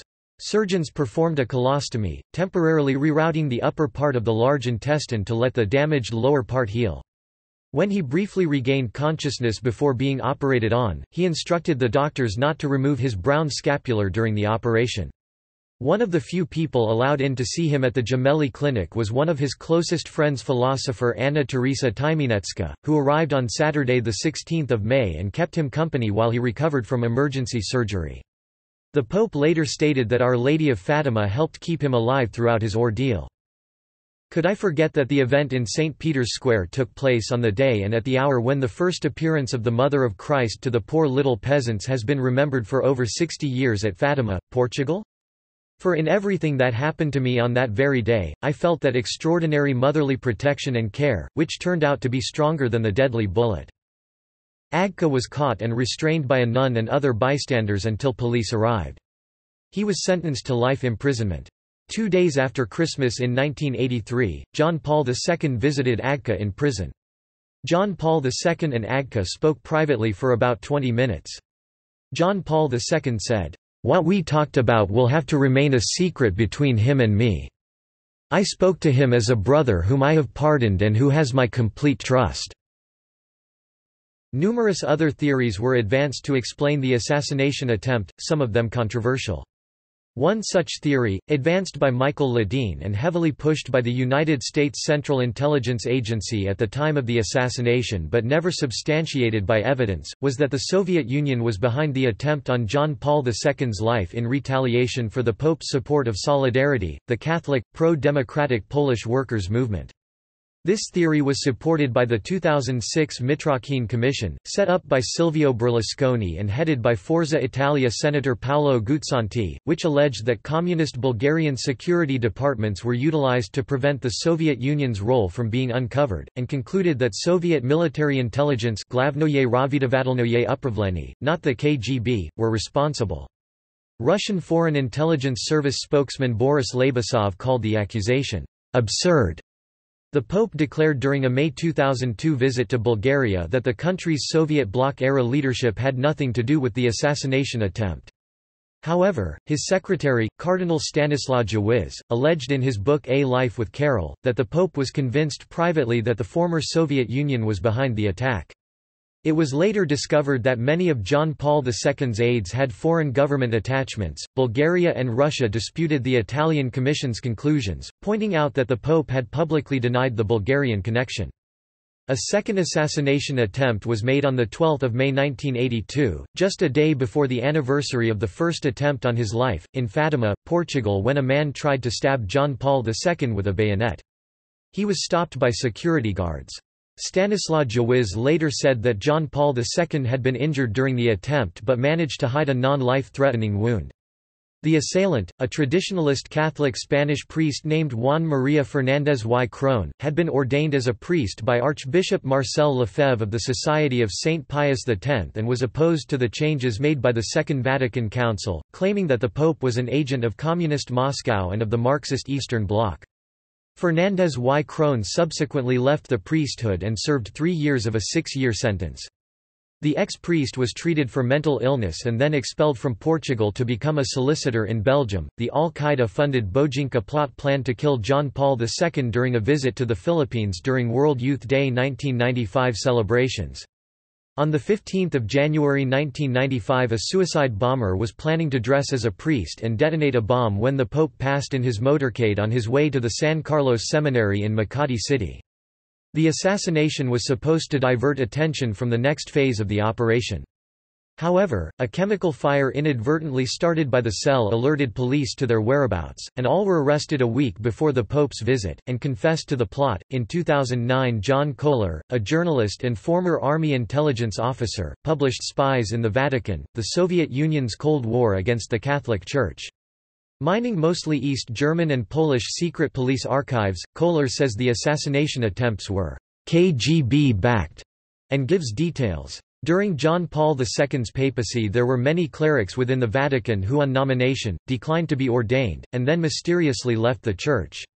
There is wide speculation that they were, in reality, KGB agents.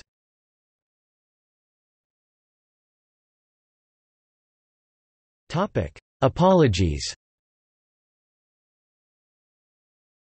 John Paul II apologized to many groups that had suffered at the hands of the Catholic Church through the years.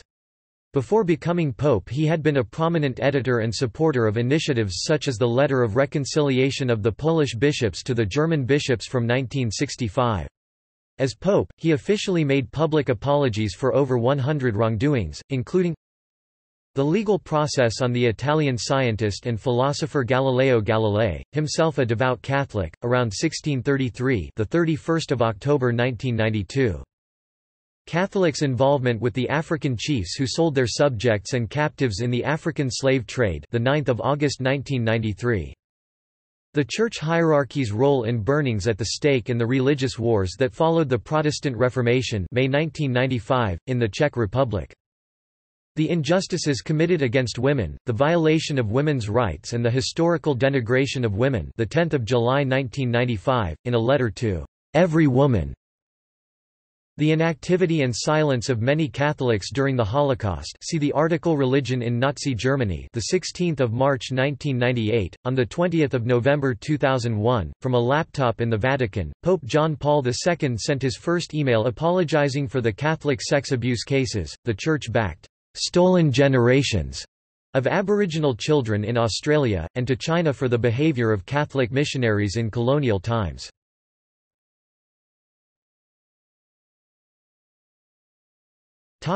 Health When he became pope in 1978 at the age of 58, John Paul II was an avid sportsman. He was extremely healthy and active, jogging in the Vatican gardens, weight training, swimming, and hiking in the mountains. He was fond of football. The media contrasted the new pope's athleticism and trim figure to the poor health of John Paul I and Paul VI, the portliness of John XXIII and the constant claims of ailments of Pius XII. The only modern pope with a fitness regimen had been Pope Pius XI (1922–1939), who was an avid mountaineer. An Irish Independent article in the 1980s labelled John Paul II the Keep Fit Pope. However, after over 25 years as pope, two assassination attempts, one of which injured him severely, and a number of cancer scares, John Paul's physical health declined. In 2001 he was diagnosed as suffering from Parkinson's disease. International observers had suspected this for some time, but it was only publicly acknowledged by the Vatican in 2003.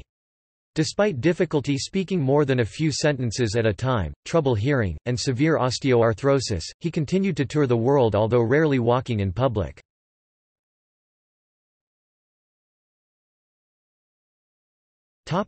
Death and funeral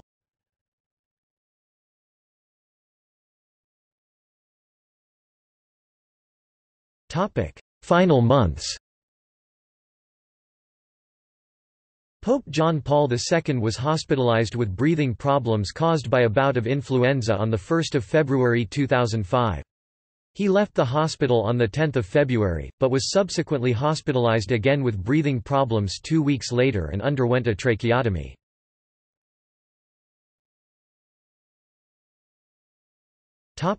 Final illness and death On 31 March 2005, following a urinary tract infection, he developed septic shock, a form of infection with a high fever and low blood pressure, but was not hospitalized. Instead, he was monitored by a team of consultants at his private residence. This was taken as an indication by the Pope, and those close to him, that he was nearing death, it would have been in accordance with his wishes to die in the Vatican. Later that day, Vatican sources announced that John Paul II had been given the anointing of the sick by his friend and secretary Stanislaw Dziwisz. The day before his death, one of his closest personal friends, Anna Teresa Tymieniecka visited him at his bedside.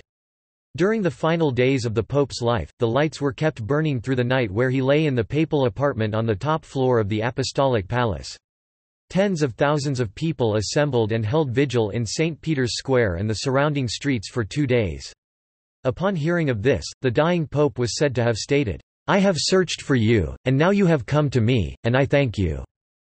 On Saturday 2 April 2005, at approximately 1530 Central Europe Summer Time, John Paul II spoke his final words in Polish. Pozwól si mi odeszki do domu ojca. Allow me to depart to the house of the Father, to his aides, and fell into a coma about four hours later. The Mass of the Vigil of the second Sunday of Easter commemorating the canonization of Saint Maria Faustina on 30 April 2000, had just been celebrated at his bedside, presided over by Stanislaw Dziwisz and two Polish associates. Present at the bedside was a cardinal from Ukraine, who served as a priest with John Paul in Poland, along with Polish nuns of the Congregation of the Sisters Servants of the Most Sacred Heart of Jesus, who ran the papal household.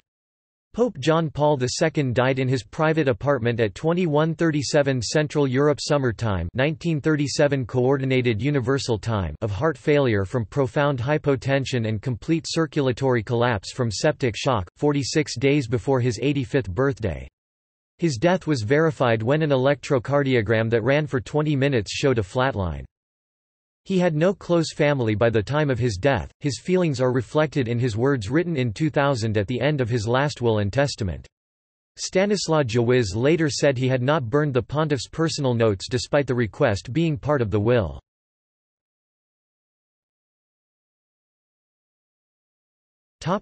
Aftermath The death of the pontiff set in motion rituals and traditions dating back to medieval times. The rite of visitation took place from 4 April 2005 to 7 April 2005 at St. Peter's Basilica. John Paul II's testament, published on 7 April 2005, revealed that the pontiff contemplated being buried in his native Poland but left the final decision to the College of Cardinals, which in passing, preferred burial beneath St. Peter's Basilica, honoring the pontiff's request to be placed in bare earth the Requiem Mass held on 8 April 2005 was said to have set world records both for attendance and number of heads of state present at a funeral. See, List of dignitaries. It was the single largest gathering of heads of state in history, surpassing the funerals of Winston Churchill 1965 and Josip Broz Tito 1980. Four kings, five queens, at least 70 presidents and prime ministers, and more than 14 leaders of other religions attended alongside the faithful. It is likely to have been the largest single pilgrimage of Christianity ever with numbers estimated in excess of 4 million mourners gathering in and around Vatican City. Between 250,000 and 300,000 watched the event from within the Vatican's walls. The Dean of the College of Cardinals, Cardinal Joseph Ratzinger, conducted the ceremony. John Paul II was interred in the grottos under the basilica, the tomb of the popes. He was lowered into a tomb created in the same alcove previously occupied by the remains of Pope John XXIII. The alcove had been empty since John XXIII's remains had been moved into the main body of the basilica after his beatification.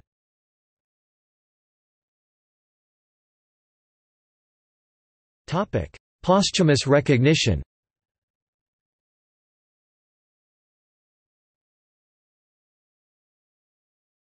Topic: Title: The Great Upon the death of John Paul II, a number of clergy at the Vatican and laymen began referring to the late pontiff as John Paul the Great, in theory only the fourth pope to be so acclaimed. Cardinal Angelo Sodano specifically referred to John Paul as the Great in his published written homily for the pope's funeral mass of repose. The South African Catholic newspaper The Southern Cross has referred to him in print as John Paul II the Great. Some Catholic educational institutions in the U.S. have additionally changed their names to incorporate the Great, including John Paul the Great Catholic University and schools called some variant of John Paul the Great High School. Scholars of canon law say that there is no official process for declaring a pope great the title simply establishes itself through popular and continued usage, as was the case with celebrated secular leaders for example, Alexander III of Macedon became popularly known as Alexander the Great.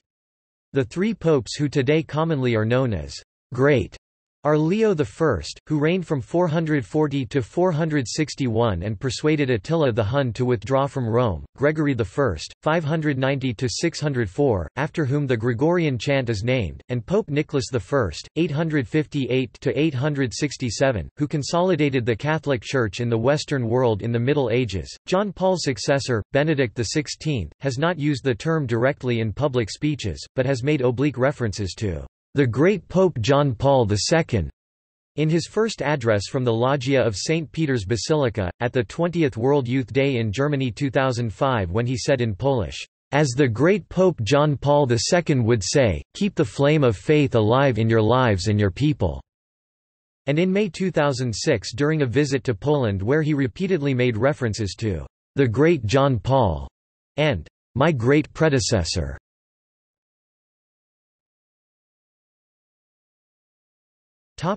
Institutions named after John Paul II. Pope John Paul II High School, Tennessee. John Paul the Great Catholic University. John Paul the Great Catholic High School, Indiana. St. John Paul the Great Catholic High School, Virginia. Scoil Eoin Phóil, Leixlip, Ireland.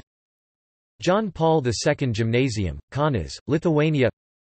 Pope John Paul II High School in Olympia, Washington.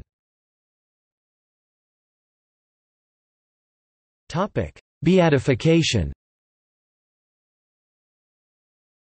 Inspired by calls of «Santo subito» make him a «saint immediately» From the crowds gathered during the funeral mass that he performed, Benedict XVI began the beatification process for his predecessor, bypassing the normal restriction that five years must pass after a person's death before beginning the beatification process. In an audience with Pope Benedict XVI, Camillo Ruini, Vicar General of the Diocese of Rome, who was responsible for promoting the cause for canonization of any person who died within that diocese, cited, "...exceptional circumstances." Which suggested that the waiting period could be waived. This decision was announced on 13 May 2005, the Feast of Our Lady of Fatima and the 24th anniversary of the assassination attempt on John Paul II at St. Peter's Square. In early 2006, it was reported that the Vatican was investigating a possible miracle associated with John Paul II. Sister Marie Simon Pierre, a French nun and member of the Congregation of Little Sisters of Catholic Maternity Wards, confined to her bed by Parkinson's disease, was reported to have experienced a complete and lasting cure after members of her community prayed for the intercession of Pope John Paul II. As of May 2008, Sister Marie Simon Pierre, then 46, was working again at a maternity hospital run by her religious institute. I was sick and now I am cured, she told reporter Jerry Shaw. I am cured, but it is up to the Church to say whether it was a miracle or not. On 28 May 2006, Pope Benedict XVI celebrated Mass before an estimated 900,000 people in John Paul II's native Poland. During his homily, he encouraged prayers for the early canonization of John Paul II and stated that he hoped canonization would happen in the near future. In January 2007, Cardinal Stanislaw Dziwisz announced that the interview phase of the beatification process, in Italy and Poland, was nearing completion. In February 2007, second-class relics of Pope John Paul II—pieces of white papal cassocks he used to wear—were freely distributed with prayer cards for the cause, a typical pious practice after a saintly Catholic's death. On 8 March 2007, the Vicariate of Rome announced that the diocesan phase of John Paul's cause for beatification was at an end. Following a ceremony on 2 April 2007—the second anniversary of the pontiff's death, the cause proceeded to the scrutiny of the Committee of Lay, Clerical, and Episcopal members of the Vatican's Congregation for the Causes of Saints, to conduct a separate investigation. On the fourth anniversary of Pope John Paul's death, 2 April 2009, Cardinal Dziwisz, told reporters of a presumed miracle that had recently occurred at the former pope's tomb in St. Peter's Basilica. A nine-year-old Polish boy from Gdansk, who was suffering from kidney cancer and was completely unable to walk, had been visiting the tomb with his parents. On leaving St. Peter's Basilica, the boy told them, I want to walk, and began walking normally. On 16 November 2009, a panel of reviewers at the Congregation for the Causes of Saints voted unanimously that Pope John Paul II had lived a life of heroic virtue. On 19 December 2009, Pope Benedict XVI signed the first of two decrees needed for beatification and proclaimed John Paul II, "'venerable", asserting that he had lived a heroic, virtuous life. The second vote and the second signed decree certifying the authenticity of the first miracle, the curing of Sister Marie Simon Pierre, a French nun, from Parkinson's disease. Once the second decree is signed, the positio the report on the cause, with documentation about his life and writings and with information on the cause is complete. He can then be beatified. Some speculated that he would be beatified sometime during or soon after the month of the 32nd anniversary of his 1978 election, in October 2010. As Monsignor Oder noted, this course would have been possible if the second decree were signed in time by Benedict XVI, stating that a posthumous miracle directly attributable to his intercession had occurred, completing the positio. The Vatican announced on 14 January 2011 that Pope Benedict XVI had confirmed the miracle involving Sister Marie Simon Pierre and that John Paul II was to be beatified on 1 May, the Feast of Divine Mercy. The 1 May is commemorated in former communist countries, such as Poland, and some Western European countries as May Day, and John Paul II was well known for his contributions to communism's relatively peaceful demise. In March 2011 the Polish Mint issued a gold 1,000 Polish zloty coin equivalent to $350, with the Pope's image to commemorate his beatification. On 29 April 2011, John Paul II's coffin was exhumed from the grotto beneath St. Peter's Basilica ahead of his beatification, as tens of thousands of people arrived in Rome for one of the biggest events since his funeral. John Paul II's remains in a closed coffin were placed in front of the basilica's main altar, where believers could pay their respect before and after the Beatification Mass in St. Peter's Square on 1 May 2011. On 3 May 2011 his remains were reinterred in the marble altar in Pier Paolo Cristofari's Chapel of St. Sebastian, where Pope Innocent XI was buried. This more prominent location, next to the Chapel of the Pietà, the Chapel of the Blessed Sacrament, and statues of Popes Pius XI and Pius XII, was intended to allow more pilgrims to view his memorial. In July 2012, a Colombian man, Marco Fidel Rojas, the former mayor of Huila, Colombia, testified that he was miraculously cured of Parkinson's disease after a trip to Rome where he met John Paul II and prayed with him. Dr. Antonio Schlesinger Piedrahita, a renowned neurologist in Colombia, has certified Fidel's healing. The documentation has been sent to the Vatican Office for Sainthood Causes.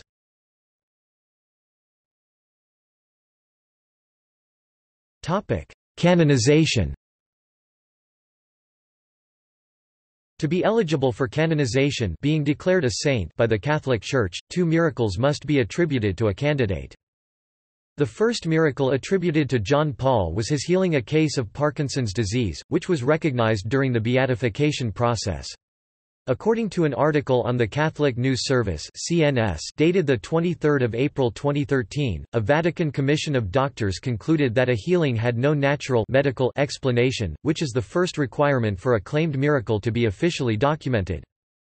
The second miracle was deemed to have taken place shortly after the late Pope's beatification on 1 May 2011. It was reported to be the healing of Costa Rican woman Floribeth Mora of an otherwise terminal brain aneurysm.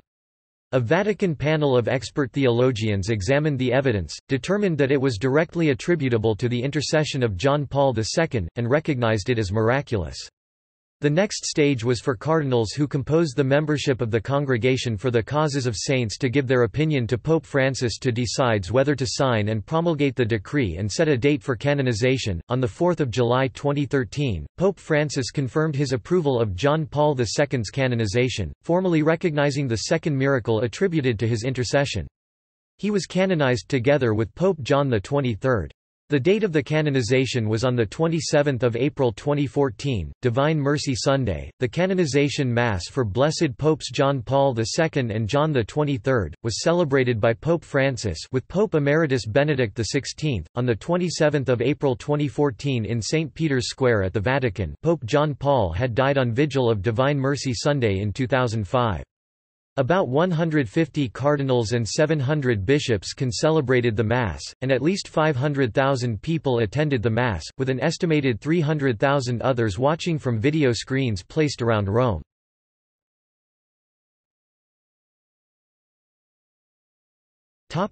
Criticism and controversy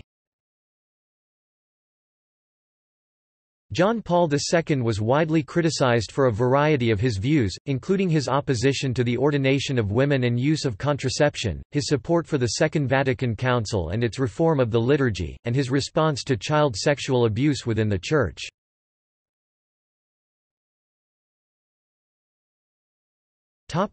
Child sex abuse scandals John Paul II was criticized by representatives of the victims of clergy sexual abuse for failing to respond quickly enough to the Catholic sex abuse crisis. In his response, he stated that, "...there is no place in the priesthood and religious life for those who would harm the young." The Church instituted reforms to prevent future abuse by requiring background checks for church employees and, because a significant majority of victims were boys, disallowing ordination of men with deep-seated homosexual tendencies. They now require dioceses faced with an allegation to alert the authorities, conduct an investigation and remove the accused from duty. In 2008, the Church asserted that the scandal was a very serious problem and estimated that it was probably caused by no more than 1%. Or 5,000 of the over 500,000 Catholic priests worldwide. In April 2002, John Paul II, despite being frail from Parkinson's disease, summoned all the American cardinals to the Vatican to discuss possible solutions to the issue of sexual abuse in the American Church. He asked them to diligently investigate accusations John Paul II suggested that American bishops be more open and transparent in dealing with such scandals and emphasized the role of seminary training to prevent sexual deviance among future priests. In what the New York Times called, "...unusually direct language," John Paul condemned the arrogance of priests that led to the scandals. Priests and candidates for the priesthood often live at a level both materially and educationally superior to that of their families and the members of their own age group. It is therefore very easy for them to succumb to the temptation of thinking of themselves as better than others. When this happens, the ideal of priestly service and self-giving dedication can fade, leaving the priest dissatisfied and disheartened. The Pope read a statement intended for the American cardinals, calling the sex abuse, an appalling sin, and said the priesthood had no room for such men. In 2002, Archbishop Julius Paetz, the Catholic Archbishop of Poznan, was accused of molesting seminarians. Pope John Paul II accepted his resignation, and placed sanctions on him, prohibiting Paetz from exercising his ministry as bishop. These restrictions were lifted in 2010 by Pope Benedict XVI. In 2003, John Paul II reiterated that, There is no place in the priesthood and religious life for those who would harm the young. In April 2003, a three-day conference was held, titled, Abuse of Children and Young People by Catholic Priests and Religious where eight non-Catholic psychiatric experts were invited to speak to near all Vatican dicasteries representatives. The panel of experts overwhelmingly opposed implementation of policies of zero tolerance, such as was proposed by the U.S. Conference of Catholic Bishops. One expert called such policies a case of overkill since they do not permit flexibility to allow for differences among individual cases, in 2004, John Paul II recalled Bernard Francis Law to be archpriest of the Papal Basilica of St. Mary Major in Rome. Law had previously resigned as Archbishop of Boston in 2002 in response to the Catholic Church sexual abuse cases after church documents were revealed that suggested he had covered up sexual abuse committed by priests in his archdiocese. Law resigned from this position in November 2011. John Paul II was a firm supporter of the Legion of Christ, and in 1998 discontinued investigations into sexual misconduct by its leader Marcial Maciel, who in 2005 resigned his leadership and was later requested by the Vatican to withdraw from his ministry.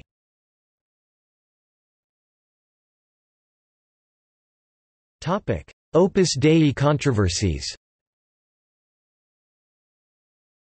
John Paul II was criticized for his support of the Opus Dei prelature and the 2002 canonization of its founder, Josemaria Escriva, whom he called, "...the saint of ordinary life." Other movements and religious organizations of the Church went decidedly under his wing Legion of Christ, the Neo-Catechumenal Way, Schoenstatt, the Charismatic Movement, etc. and he was accused repeatedly of taking a soft hand with them, especially in the case of Marcial Maciel, founder of the Legion of Christ. In 1984 John Paul II appointed Joaquin Navarro Valls, a member of Opus Dei, as director of the Vatican Press Office. An Opus Dei spokesman said that the influence of Opus Dei in the Vatican has been exaggerated. Of the nearly 200 cardinals in the Catholic Church, only two are known to be members of Opus Dei.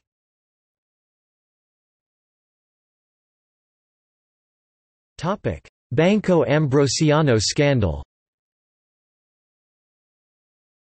Pope John Paul was alleged to have links with Banco Ambrosiano, an Italian bank that collapsed in 1982. At the center of the bank's failure was its chairman, Roberto Calvi, and his membership in the illegal Masonic Lodge Propaganda Due aka P2. The Vatican Bank was Banco Ambrosiano's main shareholder, and the death of Pope John Paul I in 1978 is rumored to be linked to the Ambrosiano scandal. Calvi, often referred to as God's banker, was also involved the Vatican Bank, Istituto per le Opere di Religione, in his dealings, and was close to Bishop Paul Marcinkus, the bank's chairman. Ambrosiano also provided funds for political parties in Italy, and for both the Somoza dictatorship in Nicaragua and its Sandinista opposition. It has been widely alleged that the Vatican Bank provided money for solidarity in Poland. Calvi used his complex network of overseas banks and companies to move money out of Italy, to inflate share prices, and to arrange massive unsecured loans. In 1978, the Bank of Italy produced a report on Ambrosiano that predicted future disaster.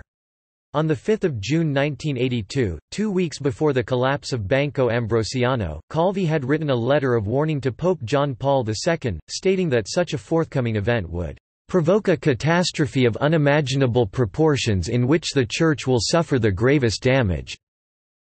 On 18 June 1982 Calvi's body was found hanging from scaffolding beneath Blackfriars Bridge in the financial district of London. Calvi's clothing was stuffed with bricks, and contained cash valued at $14,000, in three different currencies.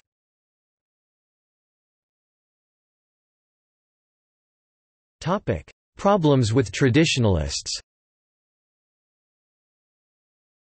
In addition to all the criticism from those demanding modernization, traditionalist Catholics sometimes denounced him as well.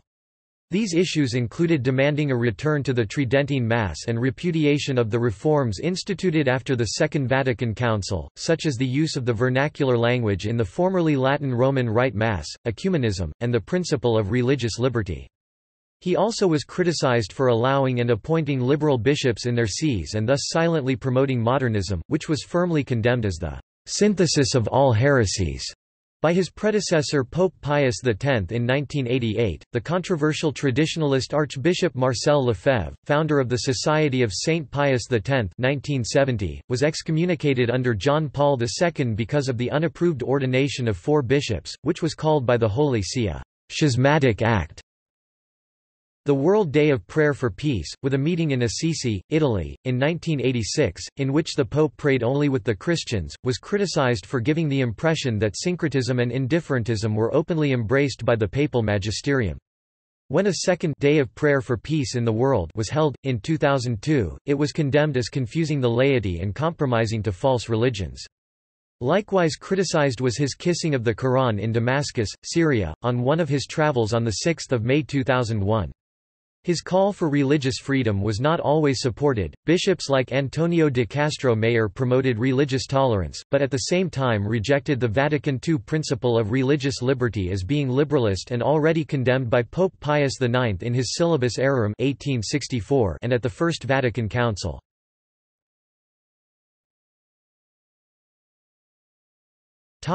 Religion and AIDS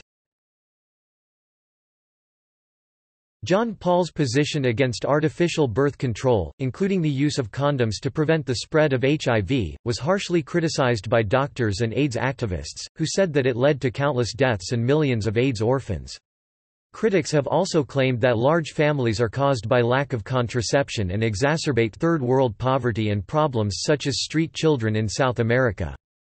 The Catholic Agency for Overseas Development published a paper stating, any strategy that enables a person to move from a higher risk towards the lower end of the continuum, we believe, is a valid risk reduction strategy.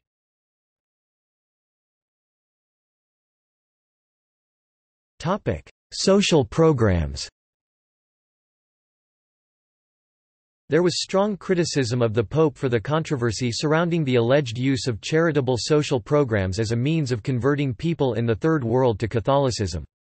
The Pope created an uproar in the Indian subcontinent when he suggested that a great harvest of faith would be witnessed on the subcontinent in the Third Christian millennium.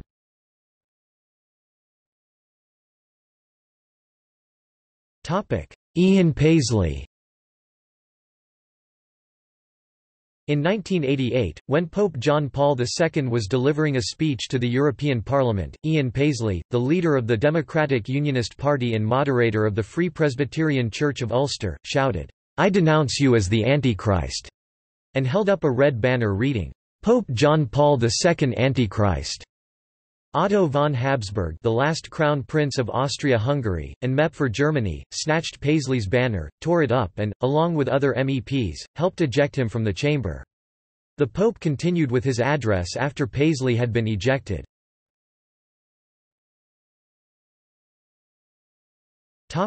Medjugorje apparitions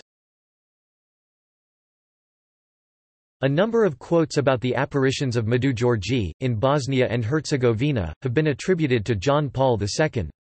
In 1998, when a certain German gathered various statements that were supposedly made by the Pope and Cardinal Ratzinger, and then forwarded them to the Vatican in the form of a memorandum, Ratzinger responded in writing on the 22nd of July 1998, The only thing I can say regarding statements on Medjugorje ascribed to the Holy Father and myself is that they are complete invention.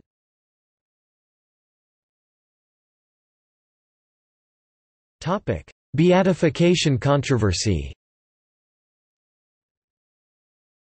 Some Catholic theologians disagreed with the call for the beatification of John Paul II. Eleven dissident theologians, including Jesuit professor José Maria Castillo and Italian theologian Giovanni Franzoni, said that his stance against contraception and the ordination of women as well as the church scandals during his pontificate presented facts which according to their consciences and convictions should be an obstacle to beatification. Some traditionalist Catholics opposed his beatification and canonization for his views on liturgy and participation in prayer with non-Christians.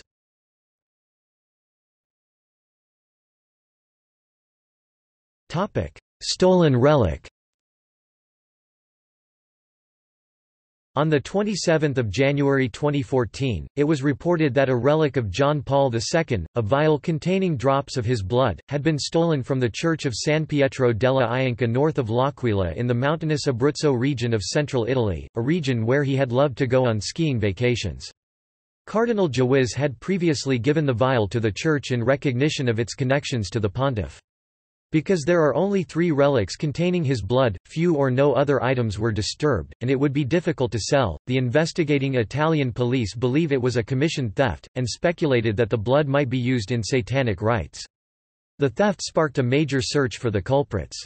Two men confessed to the crime, and an iron reliquary and a stolen cross, but not the relic, were recovered from the grounds of a drug rehabilitation facility in L'Aquila on 30 January. The blood was recovered shortly after from rubbish bins near where the reliquary had been found.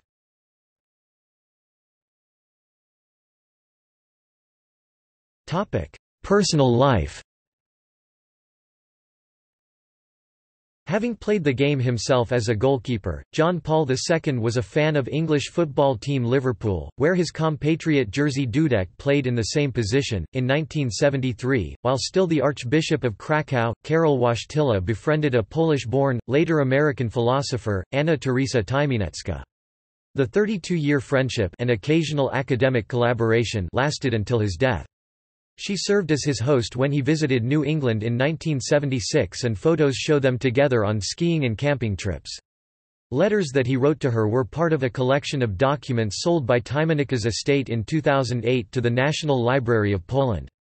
According to the BBC the library had initially kept the letters from public view, partly because of John Paul's path to sainthood, but a library official announced in February 2016 the letters would be made public.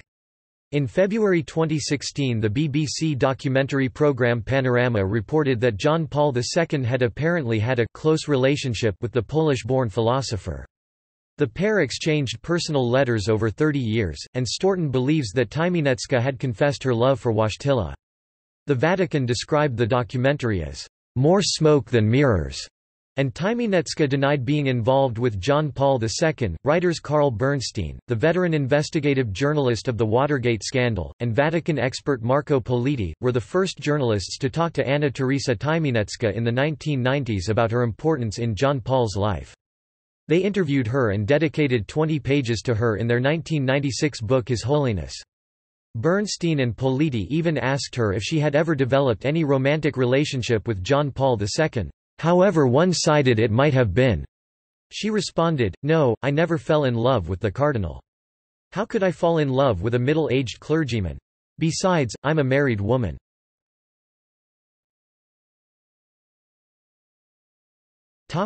See also Beatifications by Pope John Paul II Cardinals created by John Paul II Compendium of the Social Doctrine of the Church. List of ten longest reigning popes. List of Catholic saints. List of peace activists. List of places named after Pope John Paul II List of popes. Museum of John Paul II and Primate Wyszynski Bolesław Taborski